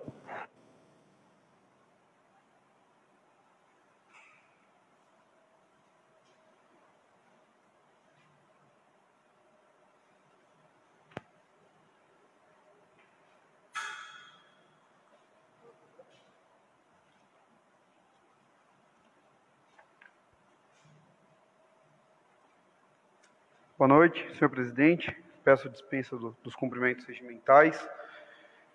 É, quero trazer alguns pontos aqui que ainda não, não foram trazidos e, e primeiramente, só para a gente delimitar uma questão que foi falado pelo nosso nobre colega Camarão e pela nossa nobre colega Vicentina, é, alguns pontos são realmente muito complicados para que a gente consiga levar água ou fazer o tratamento. E é justamente por isso que na emenda a emenda trata de métodos isolados. Quem tem lá expresso métodos isolados. Aqui, só para a gente ter uma, uma, uma noção, uma pesquisa rápida na internet, um biodigestor que atende, atende até 75 famílias tem um custo hoje de 135 mil. Ou seja, não é um custo tão elevado quanto se pensa. É caro fazer extensão? É muito caro fazer extensão. Mas métodos isolados, como já foi dito pelo pelo nosso presidente, muito bem disso, que ele é um cara que tem conhecimento na área, é muito mais barato fazermos métodos isolados. É, também, como foi dito pelo, pelo nosso nobre colega vereador Caio Maitori, a próxima atualização do plano agora é em 10 anos. A lei, anteriormente até 2020, a cada quatro anos esse plano tinha que ser atualizado. Houve uma atualização legislativa que esse plano agora pode ser atualizado até 10 anos. Ou seja, se o plano tinha que ser atualizado até 4, está sendo feito com 4 de atraso, como é que a gente vai pressupor que a Sabesp vai atualizar esse plano agora? E o, a Sabesp não, né? A Sabesp manda parte do município, é o município que não fez a parte. Que o município vai atualizar isso até 2031. É, é muito preocupante, porque a gente, a gente tem que continuar com a, com a fiscalização para evitar que a gente deixe que a bomba sempre vai estourando no colo do próximo prefeito. É, a Sabesp foi questionada no plano, isso é uma crítica que eu ainda faço ao plano da Sabesp, quando foi questionado em caso de escassez hídrica, que já foi falado aqui, precisamos preservar, o plano não apresenta nem pela parte da Sabesp nem pela parte do município.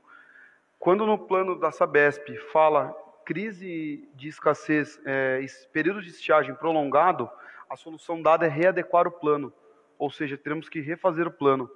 Então, aqui, junto a esse projeto, eu acho que deveria estar tramitando o, o, o, caso do IPTU verde, por exemplo. A gente falou hoje de IPTU premiado, poderia estar tramitando IPTU verde. Aquele que faz a captação de água da chuva tem uma isenção de parte de IPTU, tem um desconto. Deveria estar tramitando nessa casa um plano de recuperação de nascentes. E não há um plano de recuperação de nascentes. Agora o prefeito começou a fazer uma um limpeza de nascente, mas nós precisamos da recuperação de várias áreas o projeto 18 de 2021, que trata sobre as queimadas, tem o principal foco preservação de nascentes. É, outra coisa que, que, me preocupou foi falado aqui que foi dito que bairros não receberiam. É, tem uma frase no direito que a gente fala que, que não está nos autos, não está no mundo. Se não está no papel, a gente não pode pressupor que vai ser cumprido. Até porque o que estava no papel no plano de 2013 não foi cumprido. O bairro do Miguel Russo era para ter recebido tratamento de esgoto até ano passado, e não foi. O bairro do Piraporinha era para ter recebido água e não recebeu. Esgoto, perdão. Há vários bairros que estavam no plano de 2013 e não foi cumprido. Penso que estão fora. Aí me causa uma outra, uma outra coisa que a gente precisa ponderar aqui nessa, nessa sessão e nessa votação, é que qualquer alteração em convênio, em lei, deve ser comunicada, pelo menos comunicada a essa Câmara. Diversas vezes o Plano Municipal de Saneamento Básico sofreu alterações e não houve comunicação à Câmara. O prefeito simplesmente trocou o bairro que ia receber água para mandar para outro e nunca comuni sequer comunicou à Câmara. A lei de licitação manda que comunique. É, aqui, só para a gente voltar nessa questão do, do que não está no, nos autos, não está no mundo, foi feito, se a gente fizer uma pesquisa rápida no SAPL, de 2017 para cá, tem 57 indicações solicitando abastecimento de água e tratamento de esgoto. Só esse ano são 14 indicações e 4 requerimentos. O método, o caminho para a gente conseguir água e esgoto não é por indicação e por requerimento. O método é por esse plano. É nesse plano que a gente vai garantir água e que a gente vai garantir esgoto para os bairros, para a totalidade do município. Muitos bairros, na verdade muitos não, a maioria, quase 100%, porque eu dei uma olhada rápida ali, alguns bairros estão sim no plano, bairros que foram feitas indicações estão no plano, mas a grande maioria não está. Como é que a gente aprova um plano que não põe os bairros e a gente faz indicação pedindo água naquele bairro? Ficou fora do plano. Então, realmente, é, foi dito, foi dito por mim, que os bairros que estavam fora não teriam abastecimento de água e não teriam tratamento de esgoto, podem até ter, poderiam até ter, mas não seriam da forma adequada e estariam correndo um risco enorme de não ter. Porque como a gente, a gente sabe, é, a lei tem que ser cumprida. E ninguém é obrigado a fazer nada que não está na lei. A Constituição fala: você não é obrigado a cumprir nada que não esteja expresso em lei. Se não está na lei, como é que a gente vai obrigar que o prefeito cumpra? Como é que a gente vai obrigar que o prefeito leve água num bairro porque ele prometeu em campanha? Como é que a gente vai obrigar a Sabesp a levar água porque o governador prometeu que estender rede de água e de esgoto? A gente tem que cobrar o que está no papel. A gente não cobra promessa. Quem cobra promessa, independente da religião de cada um, eu não sei o que cada um acredita aqui pós-morte, mas é pós-morte. Aí sim alguém vai cobrar nossas promessas não cumpridas. A gente cumpre o que está no papel. A gente, a gente pode obrigar, a gente pode fiscalizar, a gente pode questionar o que está no papel. Que a promessa não. Aqui eu estou com o projeto, eu farei a leitura, mas não tem por que eu fazer a leitura da tabela dos bairros. Mas só para a gente ter noção, aqui são muito poucos bairros que estão previstos no, nesse plano. É, só uma, uma outra questão, foi falado também pelo nobre vereador Caio, questão de investimento. A gente leu hoje o LOA, que é a Lei Orçamentária Anual. Na classificação por função, não há previsto para 2022, mesmo após toda essa encrenca que a gente está arrumando aqui, não tem previsão para investimento por parte do município em saneamento básico no ano que vem. Se você pegar a classificação por função, não tem. Pode até ser que ele fale que depois o que está determinado ali como urbanismo tem uma ramificação para saneamento. Mas não tem nada expresso para saneamento básico. Há questões de financiamento. O BNDES tem um, tem um programa que ele faz empréstimo a custo muito baixo, salvo engano, é, zero, é 3% ao ano. Isso, não sei se tem alguém que seja bom de matemática, vai dar zero ponto alguma coisa por mês. É uma taxa de juros muito baixa. Então tem como a gente conseguir recurso. Isso para pagar em 20, 30 anos. Só que a gente não pode é empurrar esse plano com a barriga, a gente deixar para depois, para que o próximo prefeito resolva. Para que a próxima Câmara tenha que fiscalizar. Então é justamente por isso que foi muito importante a aprovação dessa emenda e é justamente por isso que é muito importante a discussão desse projeto. É justamente por isso que é muito importante que a população saiba o que está e o que não está dentro do plano. Porque amanhã ou depois a população vai vir cobrar a gente. A população bate na nossa porta, a população liga para a gente, pedindo caminhão-pipa, pedindo água, alegando que a, a frente da casa tá, tá com cheiro, tá com mau cheiro por conta de, de esgoto despejado a céu aberto? E como é que a gente vai responder alguma coisa se a gente vota um plano capenga? Até vou. O Camarão usou isso na, na votação em 2020, ele subiu aqui e ele falou que não, é, não existe a gente aprovar uma coisa que está meio bom. A gente aprovar o que é bom. Não tem coisa meio boa, meio ruim, e aqui faço do, do, do nobre vereador Camarão as palavras dele como minhas. O plano é capenga. E só com essa emenda a gente vai, vai resolver. Com a emenda, já tô, dá a entender que estou discutindo a emenda, mas na verdade, a minha maior preocupação aqui é que haja um entendimento de que o plano estava bom antes da emenda e de que eu falei alguma coisa em algum momento, talvez seja tema até de explicação pessoal isso, que eu usei em algum momento, eu falei em algum momento que bairro não ia ter água e realmente não ia. Eu não menti em momento algum. E não é mentira, se a gente pegar o plano, está aqui. O plano de trabalho, tabela 12 da Sabesp está ali. Então, hoje sou favorável a esse plano em razão da aprovação da emenda. E, novamente, vou frisar: devemos fiscalizar o Poder Executivo. Devemos fiscalizar que seja apresentado os projetos e devemos fiscalizar que seja cumprido o projeto. Porque esse prazo de dois anos não é só para os projetos, é para o projeto e para a apresentação do plano de trabalho de quando ele vai levar água e esgoto aos bairros. Seja se ele vai resolver interligar com a rede ou se ele vai tentar um meio alternativo. Muito obrigado a todos. Eu que agradeço. Continue em discussão. Ney.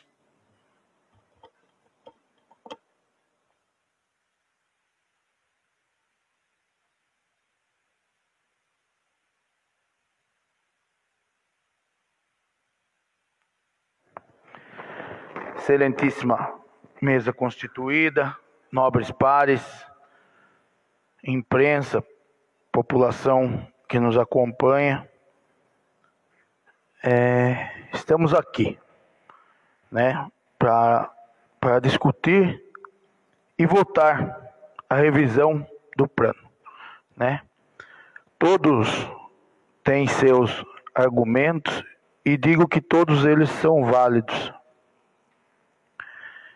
E eu procuro ser muito justo em se tratando da vida pública, porque não é tão simples assim a gente colocar tudo o que a gente tem em mente no papel e ele funcionar verdadeiramente. É, acho muito justo e vou fazer defender os vereadores da legislatura passada em se tratando desse plano. Não é só cobrar que não foi aprovado, que não foi cobrado do prefeito. Há de se discutir que iniciou uma grande obra no município no governo passado e no qual essa Câmara, alguns dessa Câmara estavam naquela legislatura e certamente fizeram parte da discussão, que é a transposição do rio Sarapuí uma grande obra. Se não fosse essa obra, nós estaríamos como algumas cidades vizinhas, sem água por dias. Temos cidades vizinhas aqui, seis dias, sete dias, oito dias, sem uma gota de água na torneira. Essa obra iniciou no mandato passado. O prefeito Geraldinho está aí dando continuidade nela, né? Porque a gente sabe ela não, não conseguiu se concluir no mandato passado e ele deu continuidade. Hoje fizemos o percurso na companhia da nobre vereadora Maria Vicentina e do prefeito, né? A gente andou o trajeto onde essa tubulação está passando. Gente, é que a tecnologia e o ser humano bem intencionado, ele não tem limites. Que você imaginar que uma motobomba arranca a água do, do rio Sarapuí e joga na captação da Sabesp mais de 10 quilômetros.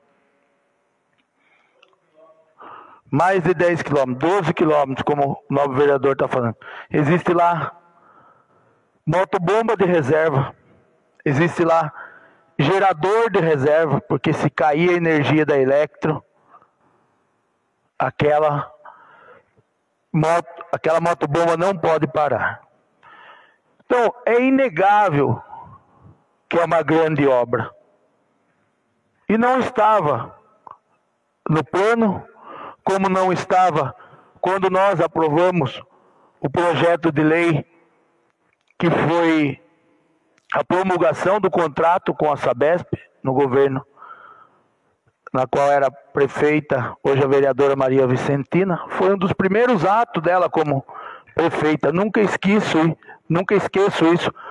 Participamos dessa discussão e lá não se falava tanto da crise hídrica. Também quero dizer que quando iniciei o projeto dessa construção da Câmara, não estava nessa situação, porque já se fazem mais de 10 anos. Já foi pensado em captação da água de chuva. Né? Esse prédio, graças a Deus, é adequado a esse sistema. Temos ali possibilidade de usar ele para lavar, para limpar, caso Deus me livre, necessite um incêndio, sistema do bombeiro interligado a ele. Né? Um grande telhado onde a água é aproveitada. Por isso que eu falo, a emenda, muito oportuna, discutimos muito, né? o Vandinho sabe disso, acho que eu tenho a liberdade de falar, até mesmo na forma de colocar a emenda. Ele estava um pouco preocupado se teria apoio. Eu falei, vereador, tenho certeza que todos os vereadores assinam com você. Porque sem projeto, impossível. Tendo projeto, tudo se torna possível. Até o que a gente não enxerga, os lugares mais longe, mas existe sim possibilidades. O nosso município tem uma qualidade incrível da água. Temos mais de 10 mineradoras dentro do município, com quatro em pleno funcionamento, vendendo água para o Brasil inteiro e nós estamos sofrendo com a questão da água. Isso é o quê? Projeto, planejamento, direcionamento. E não adianta achar culpado, nós temos que achar solução, nós estamos aqui para isso. E é por isso que nós vamos aprovar esse projeto. E nada impede de amanhã pela manhã qualquer um de nós vereadores ligar na superintendência da Sabesp, marcar uma audiência, marcar uma reunião e ir lá e cobrar a necessidade. Nada impede disso. Né? Não significa que só daqui 10 anos nós vamos falar em saneamento de novo. Muito pelo contrário. Agora vai forçar a Sabesp a aumentar as ligações de água, porque queira ou não, ela vai ser onerada em 4% líquido do seu orçamento. Esse 4% vai vir para os cofres públicos e nós vamos distribuir. Você acha que ela não vai querer acelerar e recuperar esses 4%? Será que tem do estado líquido de arrecadação da Sabesp de lucro 4%? Não me aprofundei a isso, mas a margem é muito pouca pela realidade do nosso município. É que é um sistema de verbas cruzadas, vai para um caixa só e o investimento sai para onde ela é dona da concessão. Por isso nós vemos essas obras. Temos ali uma estação de tratamento de esgoto, que também veio do governo do estado há alguns anos. Um imenso investimento de direito, tudo isso que eu estou falando, direito da população. Mas a gente não pode esquecer. É, Vila Moraes está sendo feito, e né, inúmeros outros lugares. Então, a gente tem que admitir que, lógico que não é o ideal, mas dentro da realidade do Brasil em que vivemos, ainda nós estamos bem na frente que muitos lugares. E é para isso que nós temos que aprovar o plano, e é para isso que nós temos também que cobrar, e é para isso que nós temos que mostrar que temos sim capacidade de indicar sistemas alternativos, seja através de campanha nas escolas, de orientação, de sistemas isolados. Né? Antigamente, um homem de visão, ele procurava um terreno para fazer uma casa onde tinha água, onde tinha uma nascente. Muitas vezes, e existem alguns bairros que ainda uma mangueira de uma polegada serve 50, 60 residências. Isso nada mais é do que um sistema alternativo. O homem do campo ele sabe viver. Ele cria mecanismos para viver. Infelizmente, os grandes centros são os maiores culpados da questão poluição, que é o grande gargalo. Garrafa PET, sofá, tudo que você pensar está à margem do, do rio Pirapora. Lixo. A captação, foi citada aqui pelo nobre vereador Vande, a água do Miguel Russo, né, a contaminação da água do Miguel Russo. Mas eu tive o desprazer, né, e uma das coisas que tem que voltar, que é a limpeza do rio Pirapora. Nós na limpeza do rio Pirapora, tudo que você pensar de recipiente encontrávamos. E encontra até hoje. Né? O rio baixou, ali na altura da Vila Maria, tem um sofá jogado e vai ver a quantidade de lixo e garrafa PET que está lá. Com o ser humano que tem esse tipo de atitudes, nós temos que trabalhar duas, três vezes. Que nós temos que fazer a nossa parte e fazer a desses que não têm conscientização. Muito obrigado.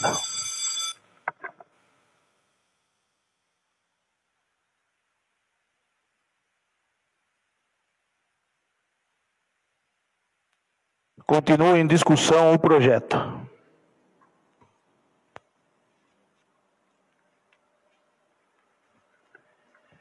Peço licença. Desligou. Senhor presidente, mesa, nobres vereadores, vocês que nos acompanham, funcionários, boa noite. Presidente, é, foi, foi muito bem colocado por todos os vereadores, muito bem explanado sobre a emenda e sobre o projeto também está sendo discutido que nada acontece da noite para o dia, né? Eu acho que, como o presidente colocou, esse prédio aqui, muito bem estruturado, foi uma conquista de todos, que vocês iniciaram logo há anos atrás para chegar nesse ponto aqui. Foi um trabalho, foi uma luta, foi através de projeto que hoje nós, a população e nós estamos usufruindo disso aqui. Quando o presidente colocou, o vereador Caio colocou também o sistema de nós trabalharmos nos nossos recursos hídricos. Muito bem colocado, vereador. Na manutenção das estradas da PDD 265 e da PDD é, 265 e 256, trabalhando com a equipe da prefeitura, eu conversei com o seu Ibrahim, naquela, no bairro do Gurgel, e a gente acompanhava a água descendo morro abaixo, estragando as estradas, descendo nas nascentes, as sorianas nascentes, eu percebia que nós não aproveitávamos a água da chuva. E sim, nós estávamos perdendo água. Junto com a equipe, fizemos um trabalho próximo da minha casa, de uma bacia de contenção, próximo da estrada. E com essa chuva desta noite aqui, eu calculei mais ou menos com uns 4 mil litros de água. De 4 a 5 mil litros que desceu, foi naquela bacia, está guardado lá, está descendo no nosso lençol através da infiltração e a estrada, que sempre com a chuva, vereador Mauro, o senhor conhece muito bem todos lá, sempre causava danos, a estrada está em perfeitas condições. Esse é, esse é, é, é visão, esse é, é um olhar abrangente nas coisas. Então, como eu falo, estou trabalhando na minha, sempre cito aqui, nos meus galpões, com captação de água de chuva, com tubulação no telhado para guardar. Então, vereador, muito bem colocado. Respeitar os recursos hídricos, aproveitá-lo de uma forma inteligente para nós, no futuro, estar mais assegurado diante daquilo que nós estamos trabalhando hoje através dos projetos. Eu venho citar aqui, presidente, é, nós trabalhamos muito, vereador Alex, no mandato passado. Trabalhamos sim. Vereador Mauro, quantas vezes nós fomos para Butuc... em Butucatu? Várias vezes. Para que isso que o presidente colocou, a transposição da água do rio Sarapuí, está acontecendo hoje com uma situação, foi um trabalho, vereador Alex, no mandato passado. Trabalhamos tanto, levamos sugestões a equipe da Sabesp, eu, o vereador Mauro, o, o ex-vereador Jorginho Biscaia e, e o, o ex-vereador Samuel. Então trabalhamos, então nós nós não conseguimos ser reeleito porque não foi feito um trabalho bem feito, viu, camarão? Trabalhamos tanto e continuamos trabalhando. Também em cima daí, presidente, a duplicação da Bungiro, que nós iniciamos um grande trabalho, equipe, até São Paulo em prol dessa Bungiro. Nobre vereador, peço que se atente à discussão do projeto. Mas é, são tudo conquista, então...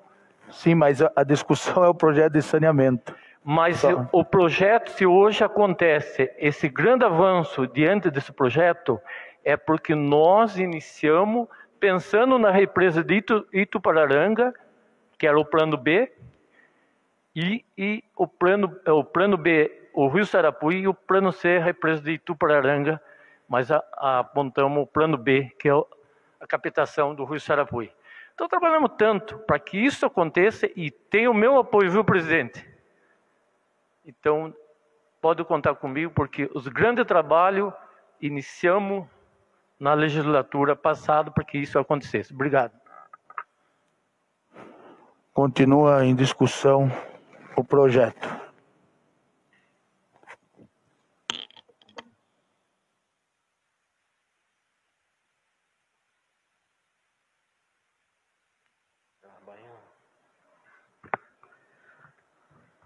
Presidente, mesa constituída, nobres pares, funcionário da casa. O que eu gostaria de falar é tirar algumas dúvidas. As minhas dúvidas em relação a esse saneamento básico, que, que vamos aprovar, aprovamos uma emenda e vamos aprovar esse saneamento, é para dar continuidade aos trabalhos da Sabesp e a gente poder receber esse 4%, que já está liberado desde 2019 e estamos deixando de arrecadar por ano 400 mil reais.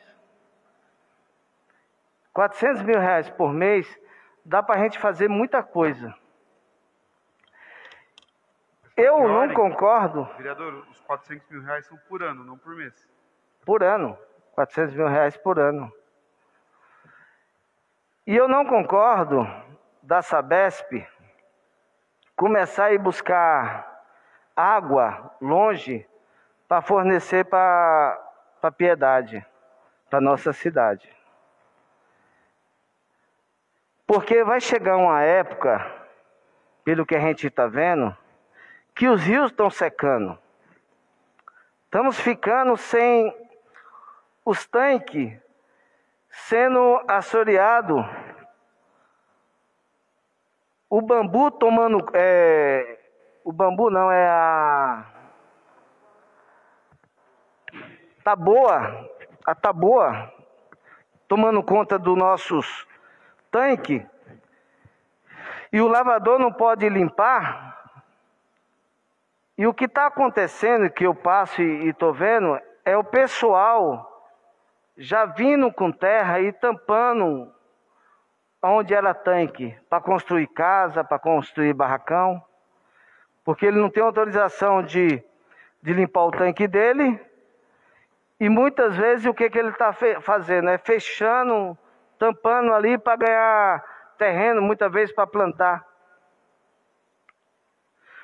O que eu acho que a Sabesp teria que fazer um, um projeto de ajudar ao redor onde ela faz a captação é de limpar os tanques, ajudar os lavadores, porque eu achei um absurdo numa das conversas dessas reuniões, o presidente nosso, Adilson Castanho, falou que a Sabesp, se chegar num, num ano crítico de faltar água, ela pode é fechar as bombas dos lavadores. Eu acho isso um absurdo. Permite uma parte, não, vereador? Na verdade, eu não falei por mim. Isso já chegou a acontecer no município. Isso é lei, não sou eu que falei. Eu apenas citei que ela tem o direito da outorga d'água. Obrigado. Então, Permite uma foi parte na- também? Só para esclarecer, é, o- a prioridade, no momento crítico, prioridade é, é água para o ser humano. E para retirar água dos rios, todo mundo tem que ter outorga, autorização para poder retirar a quantidade certa. É nesse sentido, e nós estávamos num período muito crítico muito crítico. Do- 2014 foi um período dos piores já vividos nesses últimos anos. Então, é isso que eu quero chegar. Imagina aí se a gente tiver outra crise dessa e o lavador, olha, só com essa, essa seca que a gente está tendo, muitos lavadores estão deixando de plantar. Estão atrasando a planta, esperando a chuva. Porque o tanque deles não dá conta de o motor trabalhar duas, três horas. Eles estão trabalhando uma hora, esperando três, quatro horas para ele repor aquela água e poder molhar de novo. Então o que que acontece? Se a Sabesp tem esse poder de poder fechar, por que, que ela não tem também em começar a investir para os lavadores, ajudando eles a liberar essa autorização para poder eles terem o reservatório maior de limpar a nascente, de ajudar a conservar a nascente.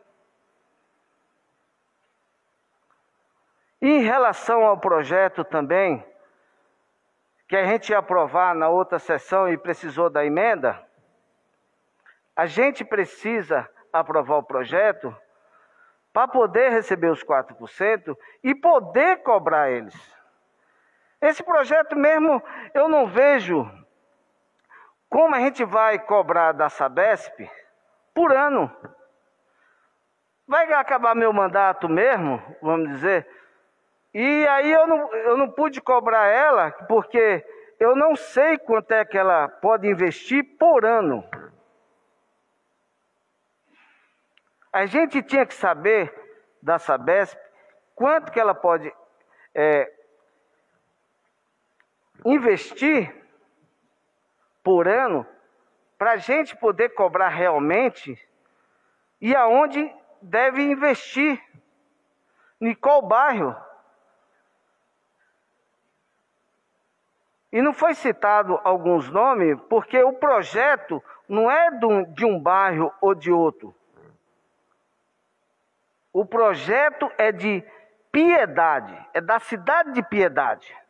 Aonde for preciso fazer um investimento da Sabesp para melhorar a água chegar até o ser humano, ela vai ter que investir. E quem vai ter que cobrar dela somos nós, quando a gente sabe que ela precisa investir tanto naquele ano. E não adianta, o, o presidente também falou aqui, a gente vai aprovar, mas que se não tiver uma fiscalização em relação aos aos loteamentos clandestinos, a gente vai ter esse problema todo ano. Daqui 10 anos, 20 anos, estaremos aqui discutindo sobre isso. O que precisa, em primeiro lugar, dar autonomia para o prefeito é, contratar três, cinco fiscais para poder em cima. Ou alguém que chegar lá é, querendo protocolar sobre um terreno, ele vai e investiga. Nobre, me permite uma parte? Pois não. O prefeito ele tem essa prerrogativa Ele basta ele prever, esse ano não pode até dezembro, mas basta ele ter essa previsão orçamentária, enviar um projeto de lei para essa casa para criação de cargos de fiscais, se ele justificar e demonstrar para que, qual o objetivo dessa criação, eu tenho certeza que nós vamos aprovar. Ele fazer o concurso público e contratar e definir um plano de trabalho para esses fiscais. Então, ele, ele vai ter essa autonomia caso ele queira, porque é uma necessidade muito mais que urgente. Precisa, eu acho que é consenso aqui, precisa aumentar o número de fiscais para que a gente possa evitar todos os prejuízos que a gente tem com loteamentos irregulares e outras questões que precisam muito ser fiscalizadas no município. Era isso, obrigado. Obrigado. Nobre, o senhor também me permite uma parte? Pois não. Só para pegar o gancho do, do nosso nobre vereador Caio, há outro tipo de fiscalização que não vem sendo feita. Além de fiscalizar os loteamentos clandestinos, a vigilância sanitária não vem fiscalizando as casas que não ligaram na rede. Porque quando a Sabesp leva a rede de água e esgoto, as casas têm que ser ligadas. E as casas, e muito, a gente tem o caso da Vila Moraes, que lá das 450 famílias, 32 ligaram.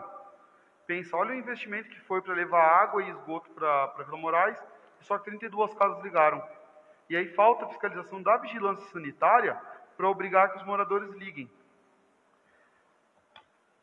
Mas quem é que não quer ligar? É a Sabesp ou é os moradores que não querem que ligue a água para ele? Só para contribuir, posso?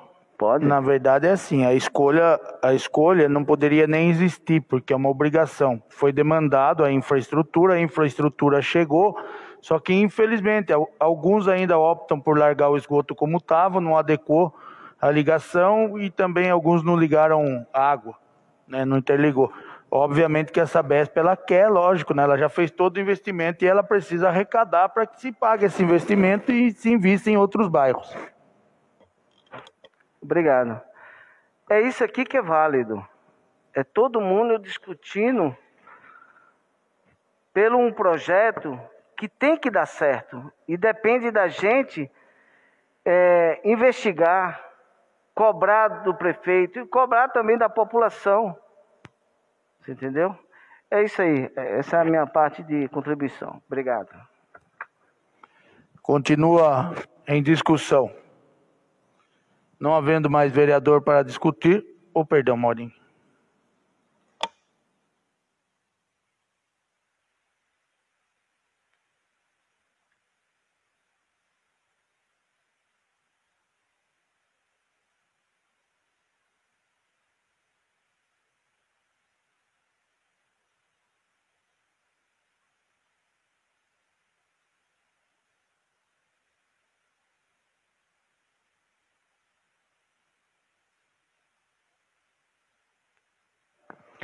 Peço dispensa dos cumprimentos regimentais. Bom, naquele momento eu fiz o meu discurso, meu comentário em relação à emenda e falei que estava é, sendo favorável à emenda para que melhorasse o projeto porque era ruim.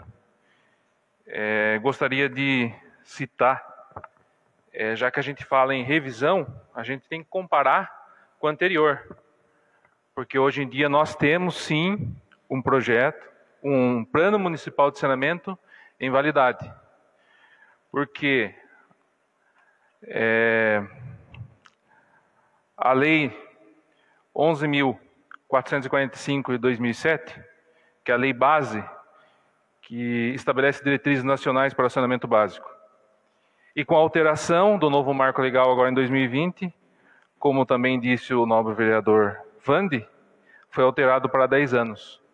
Então, esse plano municipal, antes de 2020, ele estava vencido. A partir do momento com essa mudança, ele não é mais vencido.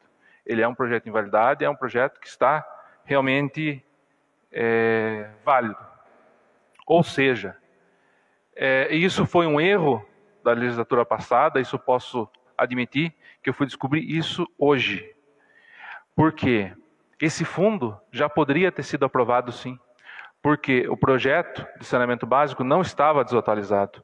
E como não está, ou seja, esse fundo não está diretamente acondicionado à aprovação desse projeto, para ser criado o fundo ou não. Então, esse projeto poderia sim, muito bem, ter sido reprovado e aprovado o fundo. Permite uma parte, Nobre? Sim. Tem manifestação da nossa Procuradoria Jurídica é, nesse sentido, que os projetos estão interligados. Então, acredito que a gente respeita a nobre posição, a posição do nobre Edil, mas a Procuradoria recomendou que eles fossem aprovados em conjunto. Isso está. Sim, e a, a, a própria Procuradoria também recomendou a não aprovação do projeto como inconstitucional. Mas né? nós então colocamos... são considerações que nós temos que fazer. Sim, sim e nobre isso Edil, se tornou uma discussão, nobre vereador. Sim, peço sim, mas nós, É- nós estamos aprovando condicionado Não, sim, a, a pela ordem, pela ordem é a parte, senão está tá se tornando discussão, nobre vereador. Me desculpa. É o meu posicionamento.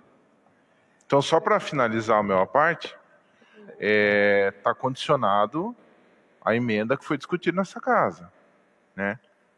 O que eu estou colocando aqui se é, que a procuradoria, por isso que a gente é, ainda não aprovou, Sim. porque nós temos prazo para aprovar, correto? Só que nós estamos embasados no que a procuradoria jurídica disse. Por isso que nós não aprovamos ainda a questão do fundo, né? A gente tem esse esse esse embasamento legal da procuradoria. É isso. Obrigado. Para esclarecer, a própria Procuradoria, quando coloca o seu parecer, ele fala que é um parecer, né, e o mérito cabe a nós, vereadores. Né, e você, diante do parecer, você tira suas conclusões e tira sua argumentação. Como também ele cita a questão da inconstitucionalidade e foi feita argumentação em cima e tem bastante gente que está favorável. né, então, é questão de mérito do projeto agora. O parecer é o orientador. E como eu estou falando nesse sentido. Não teria realmente obrigatoriedade, porque o projeto está em validade, o plano municipal de saneamento de piedade está em validade. Então poderia ter sido feito sim à parte, ao meu ponto de vista, ao meu entendimento. É, gostaria de citar quando a gente fala em revisão, como eu falei, a gente tem que comparar. Né? E a gente está comparando o projeto atual com o passado. Como também disse o nobre vereador Vandi, ele retirou desse novo o bairro do Caetesal, que era atendimento com água. Naquele momento, em 2013, a longo prazo, a partir de 2020. Ou seja, hoje deveria estar chegando água lá, porque gente, nós estamos já em 2021 e não atendeu. Seguindo essa linha de raciocínio e revisão, porque nós estamos numa revisão. A gente compara com a anterior. Bairro do Miguel Russo. Bairro do Miguel Russo era para ter sido atendido com esgoto. De 2017 a 2020, a médio prazo, e não foi atendido. E esses projetos que eu estou falando, e esses bairros que eu estou falando, eles estão tirando do novo. Ou foi atendido, não estou sabendo. Ou eles fizeram alguma. Esgoto. É, aqui está esgoto. Ou, ou é, eles fizeram alguma justificativa aqui por escrito no projeto que eu desconheço, porque eu li, não vi. Eles estão tirando aqueles que tinham direito já de ter esse benefício. Vereador, se me permite uma parte só para. Eu peço para o senhor ser breve, que a minha é grande. Não, ah, só para complementar, o Miguel Russo foi retirar a questão de esgoto e a questão de, levar a água, está parada a obra. A obra parou e não, não foi concluída ainda. Sim. É, nesse novo plano, está sendo colocado aqui projetos que já foram atendidos, bairro Alpes de Piedade, bairro do Domingos, é, outros bairros aqui que agora na, de ver aqui eu não vou conseguir citar. Mas enfim. E uma questão também que foi muito bem falada aqui, que ele fez a transposição do Rio Sarapuí é, e não tinha previsão. Né? Quando a gente pega lá no plano de 2013, tem no sistema de investimentos 1.5 ampliação da capacidade de produção a longo prazo, após 2020. 2 milhões 627, ou seja, tinha previsão. Tinha previsão. Não é nada mais, não é nada um, é, uma ajuda que ele deu para o município, mas sim a previsão está aqui. Está aqui, nessa tabela de investimentos. O plano municipal de saneamento básico, que ainda está validado, é esse daqui, que, ao meu ponto de vista, é bem melhor do que nós temos hoje. Seguindo essa linha de raciocínio, quando a gente fala, quando foi bem falado aqui, que precisa disso aqui para ser aprovado o fundo, como eu falei, eu discordo. Hoje eu vejo que eu discordo. Não concordo com essa visão mais. Porque eu tive essa, esse estudo hoje e cheguei nessa conclusão. Quando a gente aprova um projeto que tira do plano de investimento 2 milhões e 500, que é do esgoto do Miguel Russo, a troca de 400 mil por ano pelo fundo não é um ganho, é um prejuízo. Quantos anos vai levar para a gente conseguir estabelecer esses 2 milhões e 500 novamente? Vai levar tempo. É, e por que, que eu estou falando tudo isso aqui, gente? Eu fui favorável, como eu falei, à, à emenda, porque eu tenho essa visão que o plano é ruim e a gente vê uma possibilidade de melhora, mesmo diante de todas as dificuldades que eu citei. Mas eu não posso ser favorável a esse plano. Eu discordo totalmente com esse plano, porque eu vejo as dificuldades que a população tem, as demandas que passam para a gente. Abaixo assinado, a população que estava aqui na audiência pública do bairro da Fazendinha mostrou as dificuldades que eles têm. População do Caetesal que não está sendo atendido, vereador Baiano, que já era para estar começando, não está sendo atendido nesse plano. E eu digo mais, com toda a segurança do porquê votar contrário porque esse plano está em validade. E a gente tem um prazo de dois anos para fazer uma atualização justa, que atenda o melhor, maior número de pessoas possíveis. A gente vai chegar no 100% de acordo com o que fala o marco legal? Não vai. Vamos ser é, sinceros, a gente não tem condições de chegar. Como disse o Nelson, como que você vai levar água lá para Cachoeira da Fumaça? É muito distante. O município é grande mas a gente pode melhorar muito esse projeto. Como? Através de pressão com a Sabesp, brigando para que isso aconteça. Quando eu votei contrário lá em 2020, no final da, da legislatura passada, eu votei com essa visão. Sempre tive essa visão de cobrança, de melhorias para o projeto. E eu vejo que isso não aconteceu. Isso, para mim. Uma parte, nobre, eu peço para o senhor ser breve, por favor, porque eu acho que tem pouco tempo. Não, bem rapidinho mesmo. Em 2020, e o senhor leu, e o senhor entende um pouco desse projeto aí que eu vi. O senhor colocou alguma emenda, fez alguma melhoria para realmente ser aprovado? O senhor já concluiu? Só isso. Então, como disse o vereador Zanésio, a gente foi várias vezes em, lá na, em Butucatu. Só que daí eles tiveram pressa no final. Colocaram o projeto totalmente irregular, sem audiência pública e sem outras coisas que a gente pediu. E não tinha condições da gente colocar emenda. Como que a gente vai colocar? Senão a gente poderia colocar isso agora. O senhor teria essa opção de colocar também. Então a gente não tem. Né? É, então, diante de tudo isso que eu citei, eu voto favorável. Por quê? Isso foi uma desconsideração com a Câmara, com o povo de Piedade, quando deixa esses bairros importantes de fora. Bairro do Caetesal, Fazendinha, na época, estava deixando também os Correias, que foi incluído agora. Não tem como, gente. O meu voto é contrário. Como eu disse, votei a favor da emenda, mas o meu voto é contrário ao projeto. Por isso. E obrigado pela atenção de todos. Continua em discussão. Pela ordem, nobre presidente, eu só gostaria de observar que nosso regimento prevê que o aparte ele não precisa ser concedido, mas quando for concedido, o apartante tem um minuto para fazer o seu aparte. É importante a gente observar o regimento nesse sentido, tá? Mas o regimento foi observado. O senhor, tanto é que o senhor concluiu. Não, desculpa, o nobre vereador Jacildo. Foi colocado, seja breve. Desculpa, mas... vereador, mas não tem seja breve, é um minuto. Nosso regimento fala que se per... você não é obrigado a permitir, mas se permitir é um minuto. Mas é, é um acordo de cavalheiros, né? E eu acho que não é essa discussão. É importante a gente chegar ao objetivo, né? Se a gente for levar o pé da letra aqui, muitas coisas é, teriam que ser, a questão da discussão do projeto, perde-se o foco, enfim. Né? Eu procuro aqui fazer é, que seja bom para todos e que tenha verdadeiramente a discussão, que é a grande razão disso tudo. É, também quero aproveitar, antes de colocar o projeto em votação, e nós vamos é, propor que a sessão tenha mais 30 minutos.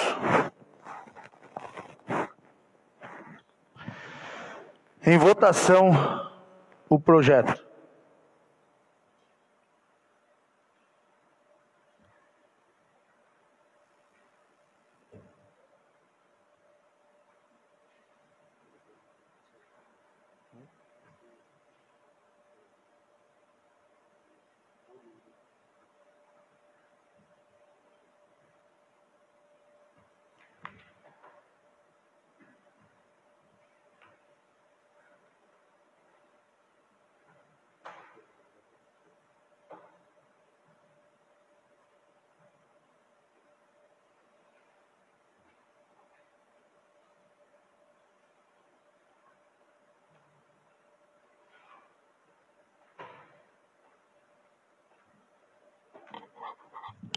Projeto foi aprovado pela maioria dos vereadores.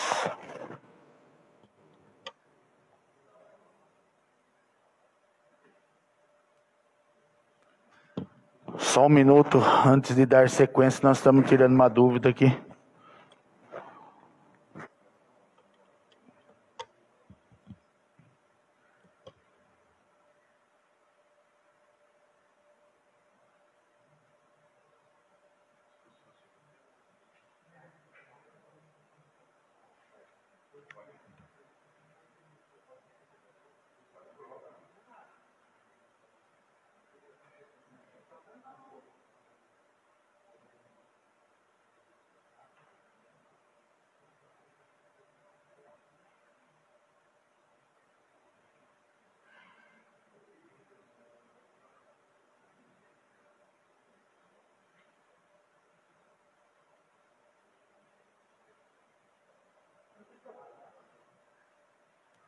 Pessoal, em relação ao tempo da sessão,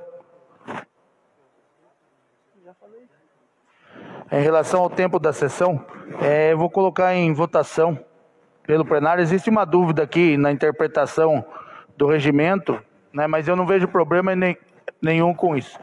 Então, quem for de acordo que a gente estenda por mais 30 minutos, que respondam pelo sim, por favor.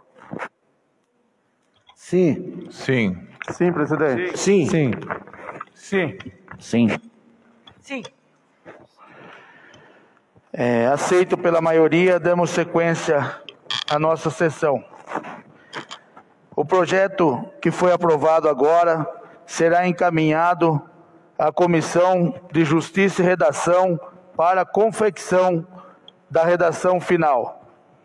Passamos ao projeto de lei número 22 de 2021. O projeto já foi lido, consulto os nobres, já foi lido e votado e consulto os nobres pares se dispensam a leitura do mesmo. Sim. Sim. Sim. Sim. Sim. Coloco o projeto em segunda discussão. Não havendo quem queira discutir, coloco em votação.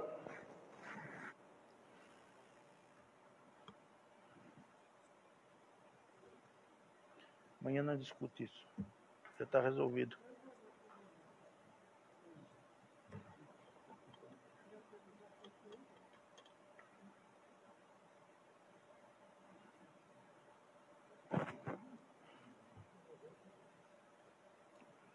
Apenas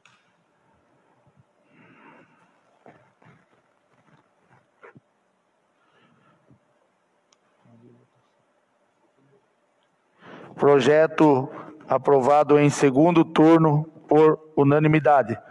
Passamos ao projeto de lei número 40 de 2021. O projeto já foi lido, consulta os nobres pares se dispensa a leitura do mesmo. Sim. Sim. Sim.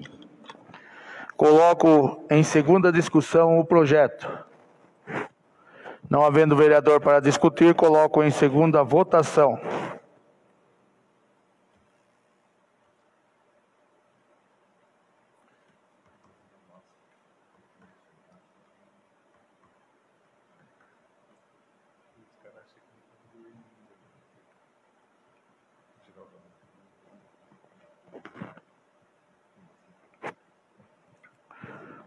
Projeto aprovado em segundo turno por unanimidade. Passamos ao projeto de lei número 39 de 2021. O projeto e as emendas já foram lidas. Consultos nobres pares se dispensam a leitura do mesmo. Sim. Sim. Sim. Peço à excelentíssima senhora secretária que faça a leitura dos pareceres.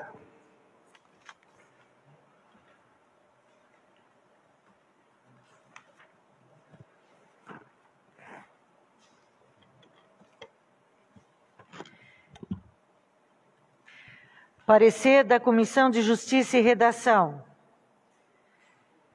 Projeto Lei número 39 2021 que dispõe so, sobre instituir a brigada de incêndio no município de Piedade e da outras providências.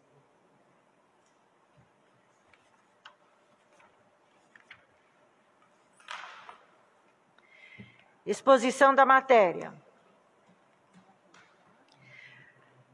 O Executivo pretende, por meio do projeto, criar uma brigada de ensino no município de Piedade, composta por voluntários e servidores públicos municipais. A finalidade da brigada será de complementar e subsidiar as atividades típicas de prevenção e combate a incêndio, inclusive no apoio às ações da Defesa Civil, ou seja, auxiliar no combate aos incêndios urbanos e rurais. Dessa forma, salvar vidas e evitar prejuízos irrecuperáveis à fauna e à flora. Conclusões. Somos favoráveis ao projeto, uma vez que a criação de uma brigada de incêndio no município de Piedade é reivindicação antiga de todos nós e contribuirá em muito na prevenção, na prevenção e combate ao incêndio. Contudo, mediante parecer da Procuradoria Jurídica da Casa, propomos emendas que têm por finalidade evitarmos eventual, a eventual inconstitucionalidade do projeto. Decisão, diante do exposto, somos pela legalidade do projeto, bem como das emendas propostas por essa comissão.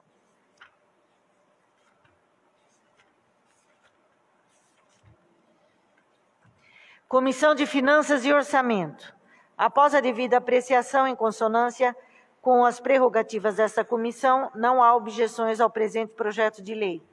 Desculpe que eu não, não na, na, no parecer de, da Comissão de Justiça e Redação eu não li o, o nome da comissão. Maria Vicentina Godinho Pereira da Silva, presidente relatora, Caio César da Silva Martori, vice-presidente, Ivan de Augusto Rodrigues, membro. Parecer da comissão da Comissão de Economia e Finanças. Após a devida apreciação em consonância com as prerrogativas dessa comissão, não há objeção ao presente projeto de lei. Ao parecer, assinado Alexandre Pereira, presidente, Nilza Maria dos Santos Godinho, vice-presidente, e Valdinei Aparecido Maria. Pela ordem. Não, então, peraí. A senhora também não, não leu. Comissão de Finanças e Orçamento. Desculpe. Após a devida apreciação, em consonância com as prerrogativas dessa comissão, não há objeções ao presente projeto de lei. Assinados Joacildo Xavier dos Santos, José, presidente, José Anésio Xavier Lemes, vice-presidente, e Alexandre Pereira, membro. Agora é da Comissão de Educação, Cultura, Saúde, Assistência Social, Turismo e Esporte. Após a devida apreciação em consonância com as prerrogativas dessa comissão, não há objeções ao presente projeto de lei. É o parecer.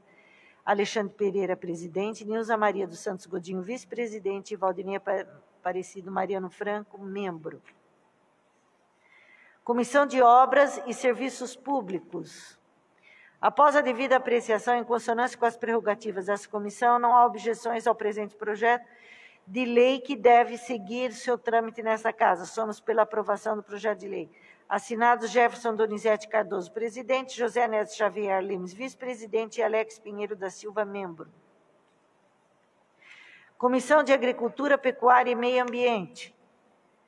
Após a devida apreciação em consonância com as prerrogativas dessa comissão, não há objeções ao presente projeto de lei que deve seguir o seu trâmite nesta casa. Assinados Nelson Prestes de Oliveira, presidente, Joacildo Xavier dos Santos, vice-presidente e Mauro Vieira Machado, membro.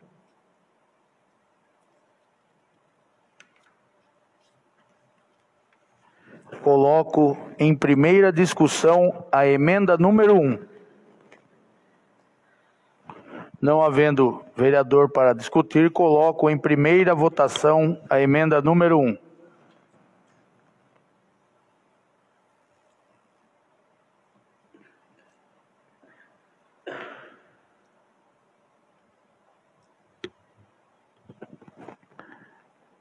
Emenda modificativa número 1, aprovada em primeiro turno por unanimidade.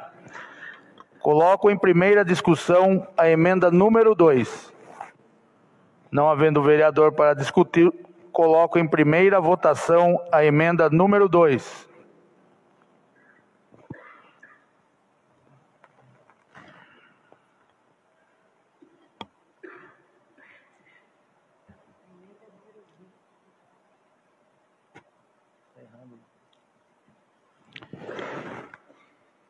Emenda supressiva número 2, aprovada em primeiro turno por unanimidade. Coloco em primeira discussão a emenda número 3. Não havendo vereador para discutir, coloco em primeira votação a emenda número 3.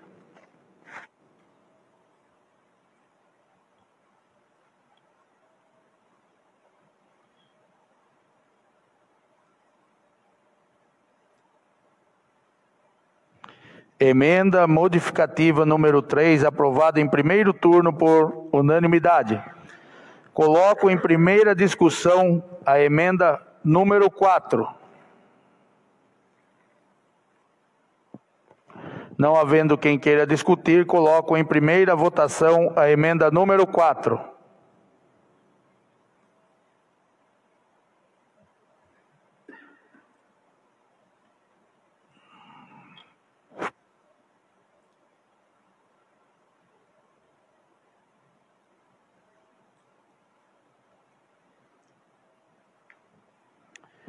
Emenda substitutiva número 4, aprovada em primeiro turno por unanimidade. Coloco em primeira discussão o projeto. Não havendo quem queira discutir, coloco em primeira votação o projeto.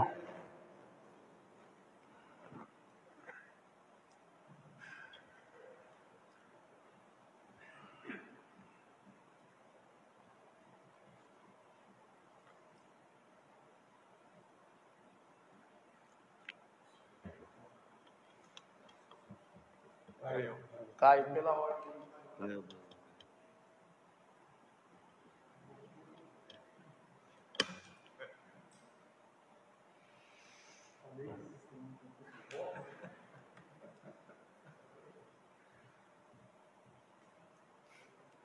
Agora sim. Projeto aprovado em primeiro turno por unanimidade.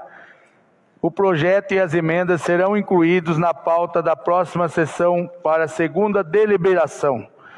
Não havendo mais projetos em pauta, lembramos os senhores vereadores que no dia 11 será ponto facultativo. Portanto, não haverá expediente de sessão. No próximo dia 15, nesta casa, às 19 horas, teremos a sessão solene em homenagem ao Dia do, dos Professores, ocasião que serão entregues títulos de, professor, de professoras eméritas. Não havendo mais vereadores, não havendo vereadores inscritos em, te, em explicação pessoal, agradeço a todos e declaro encerrada a presente sessão.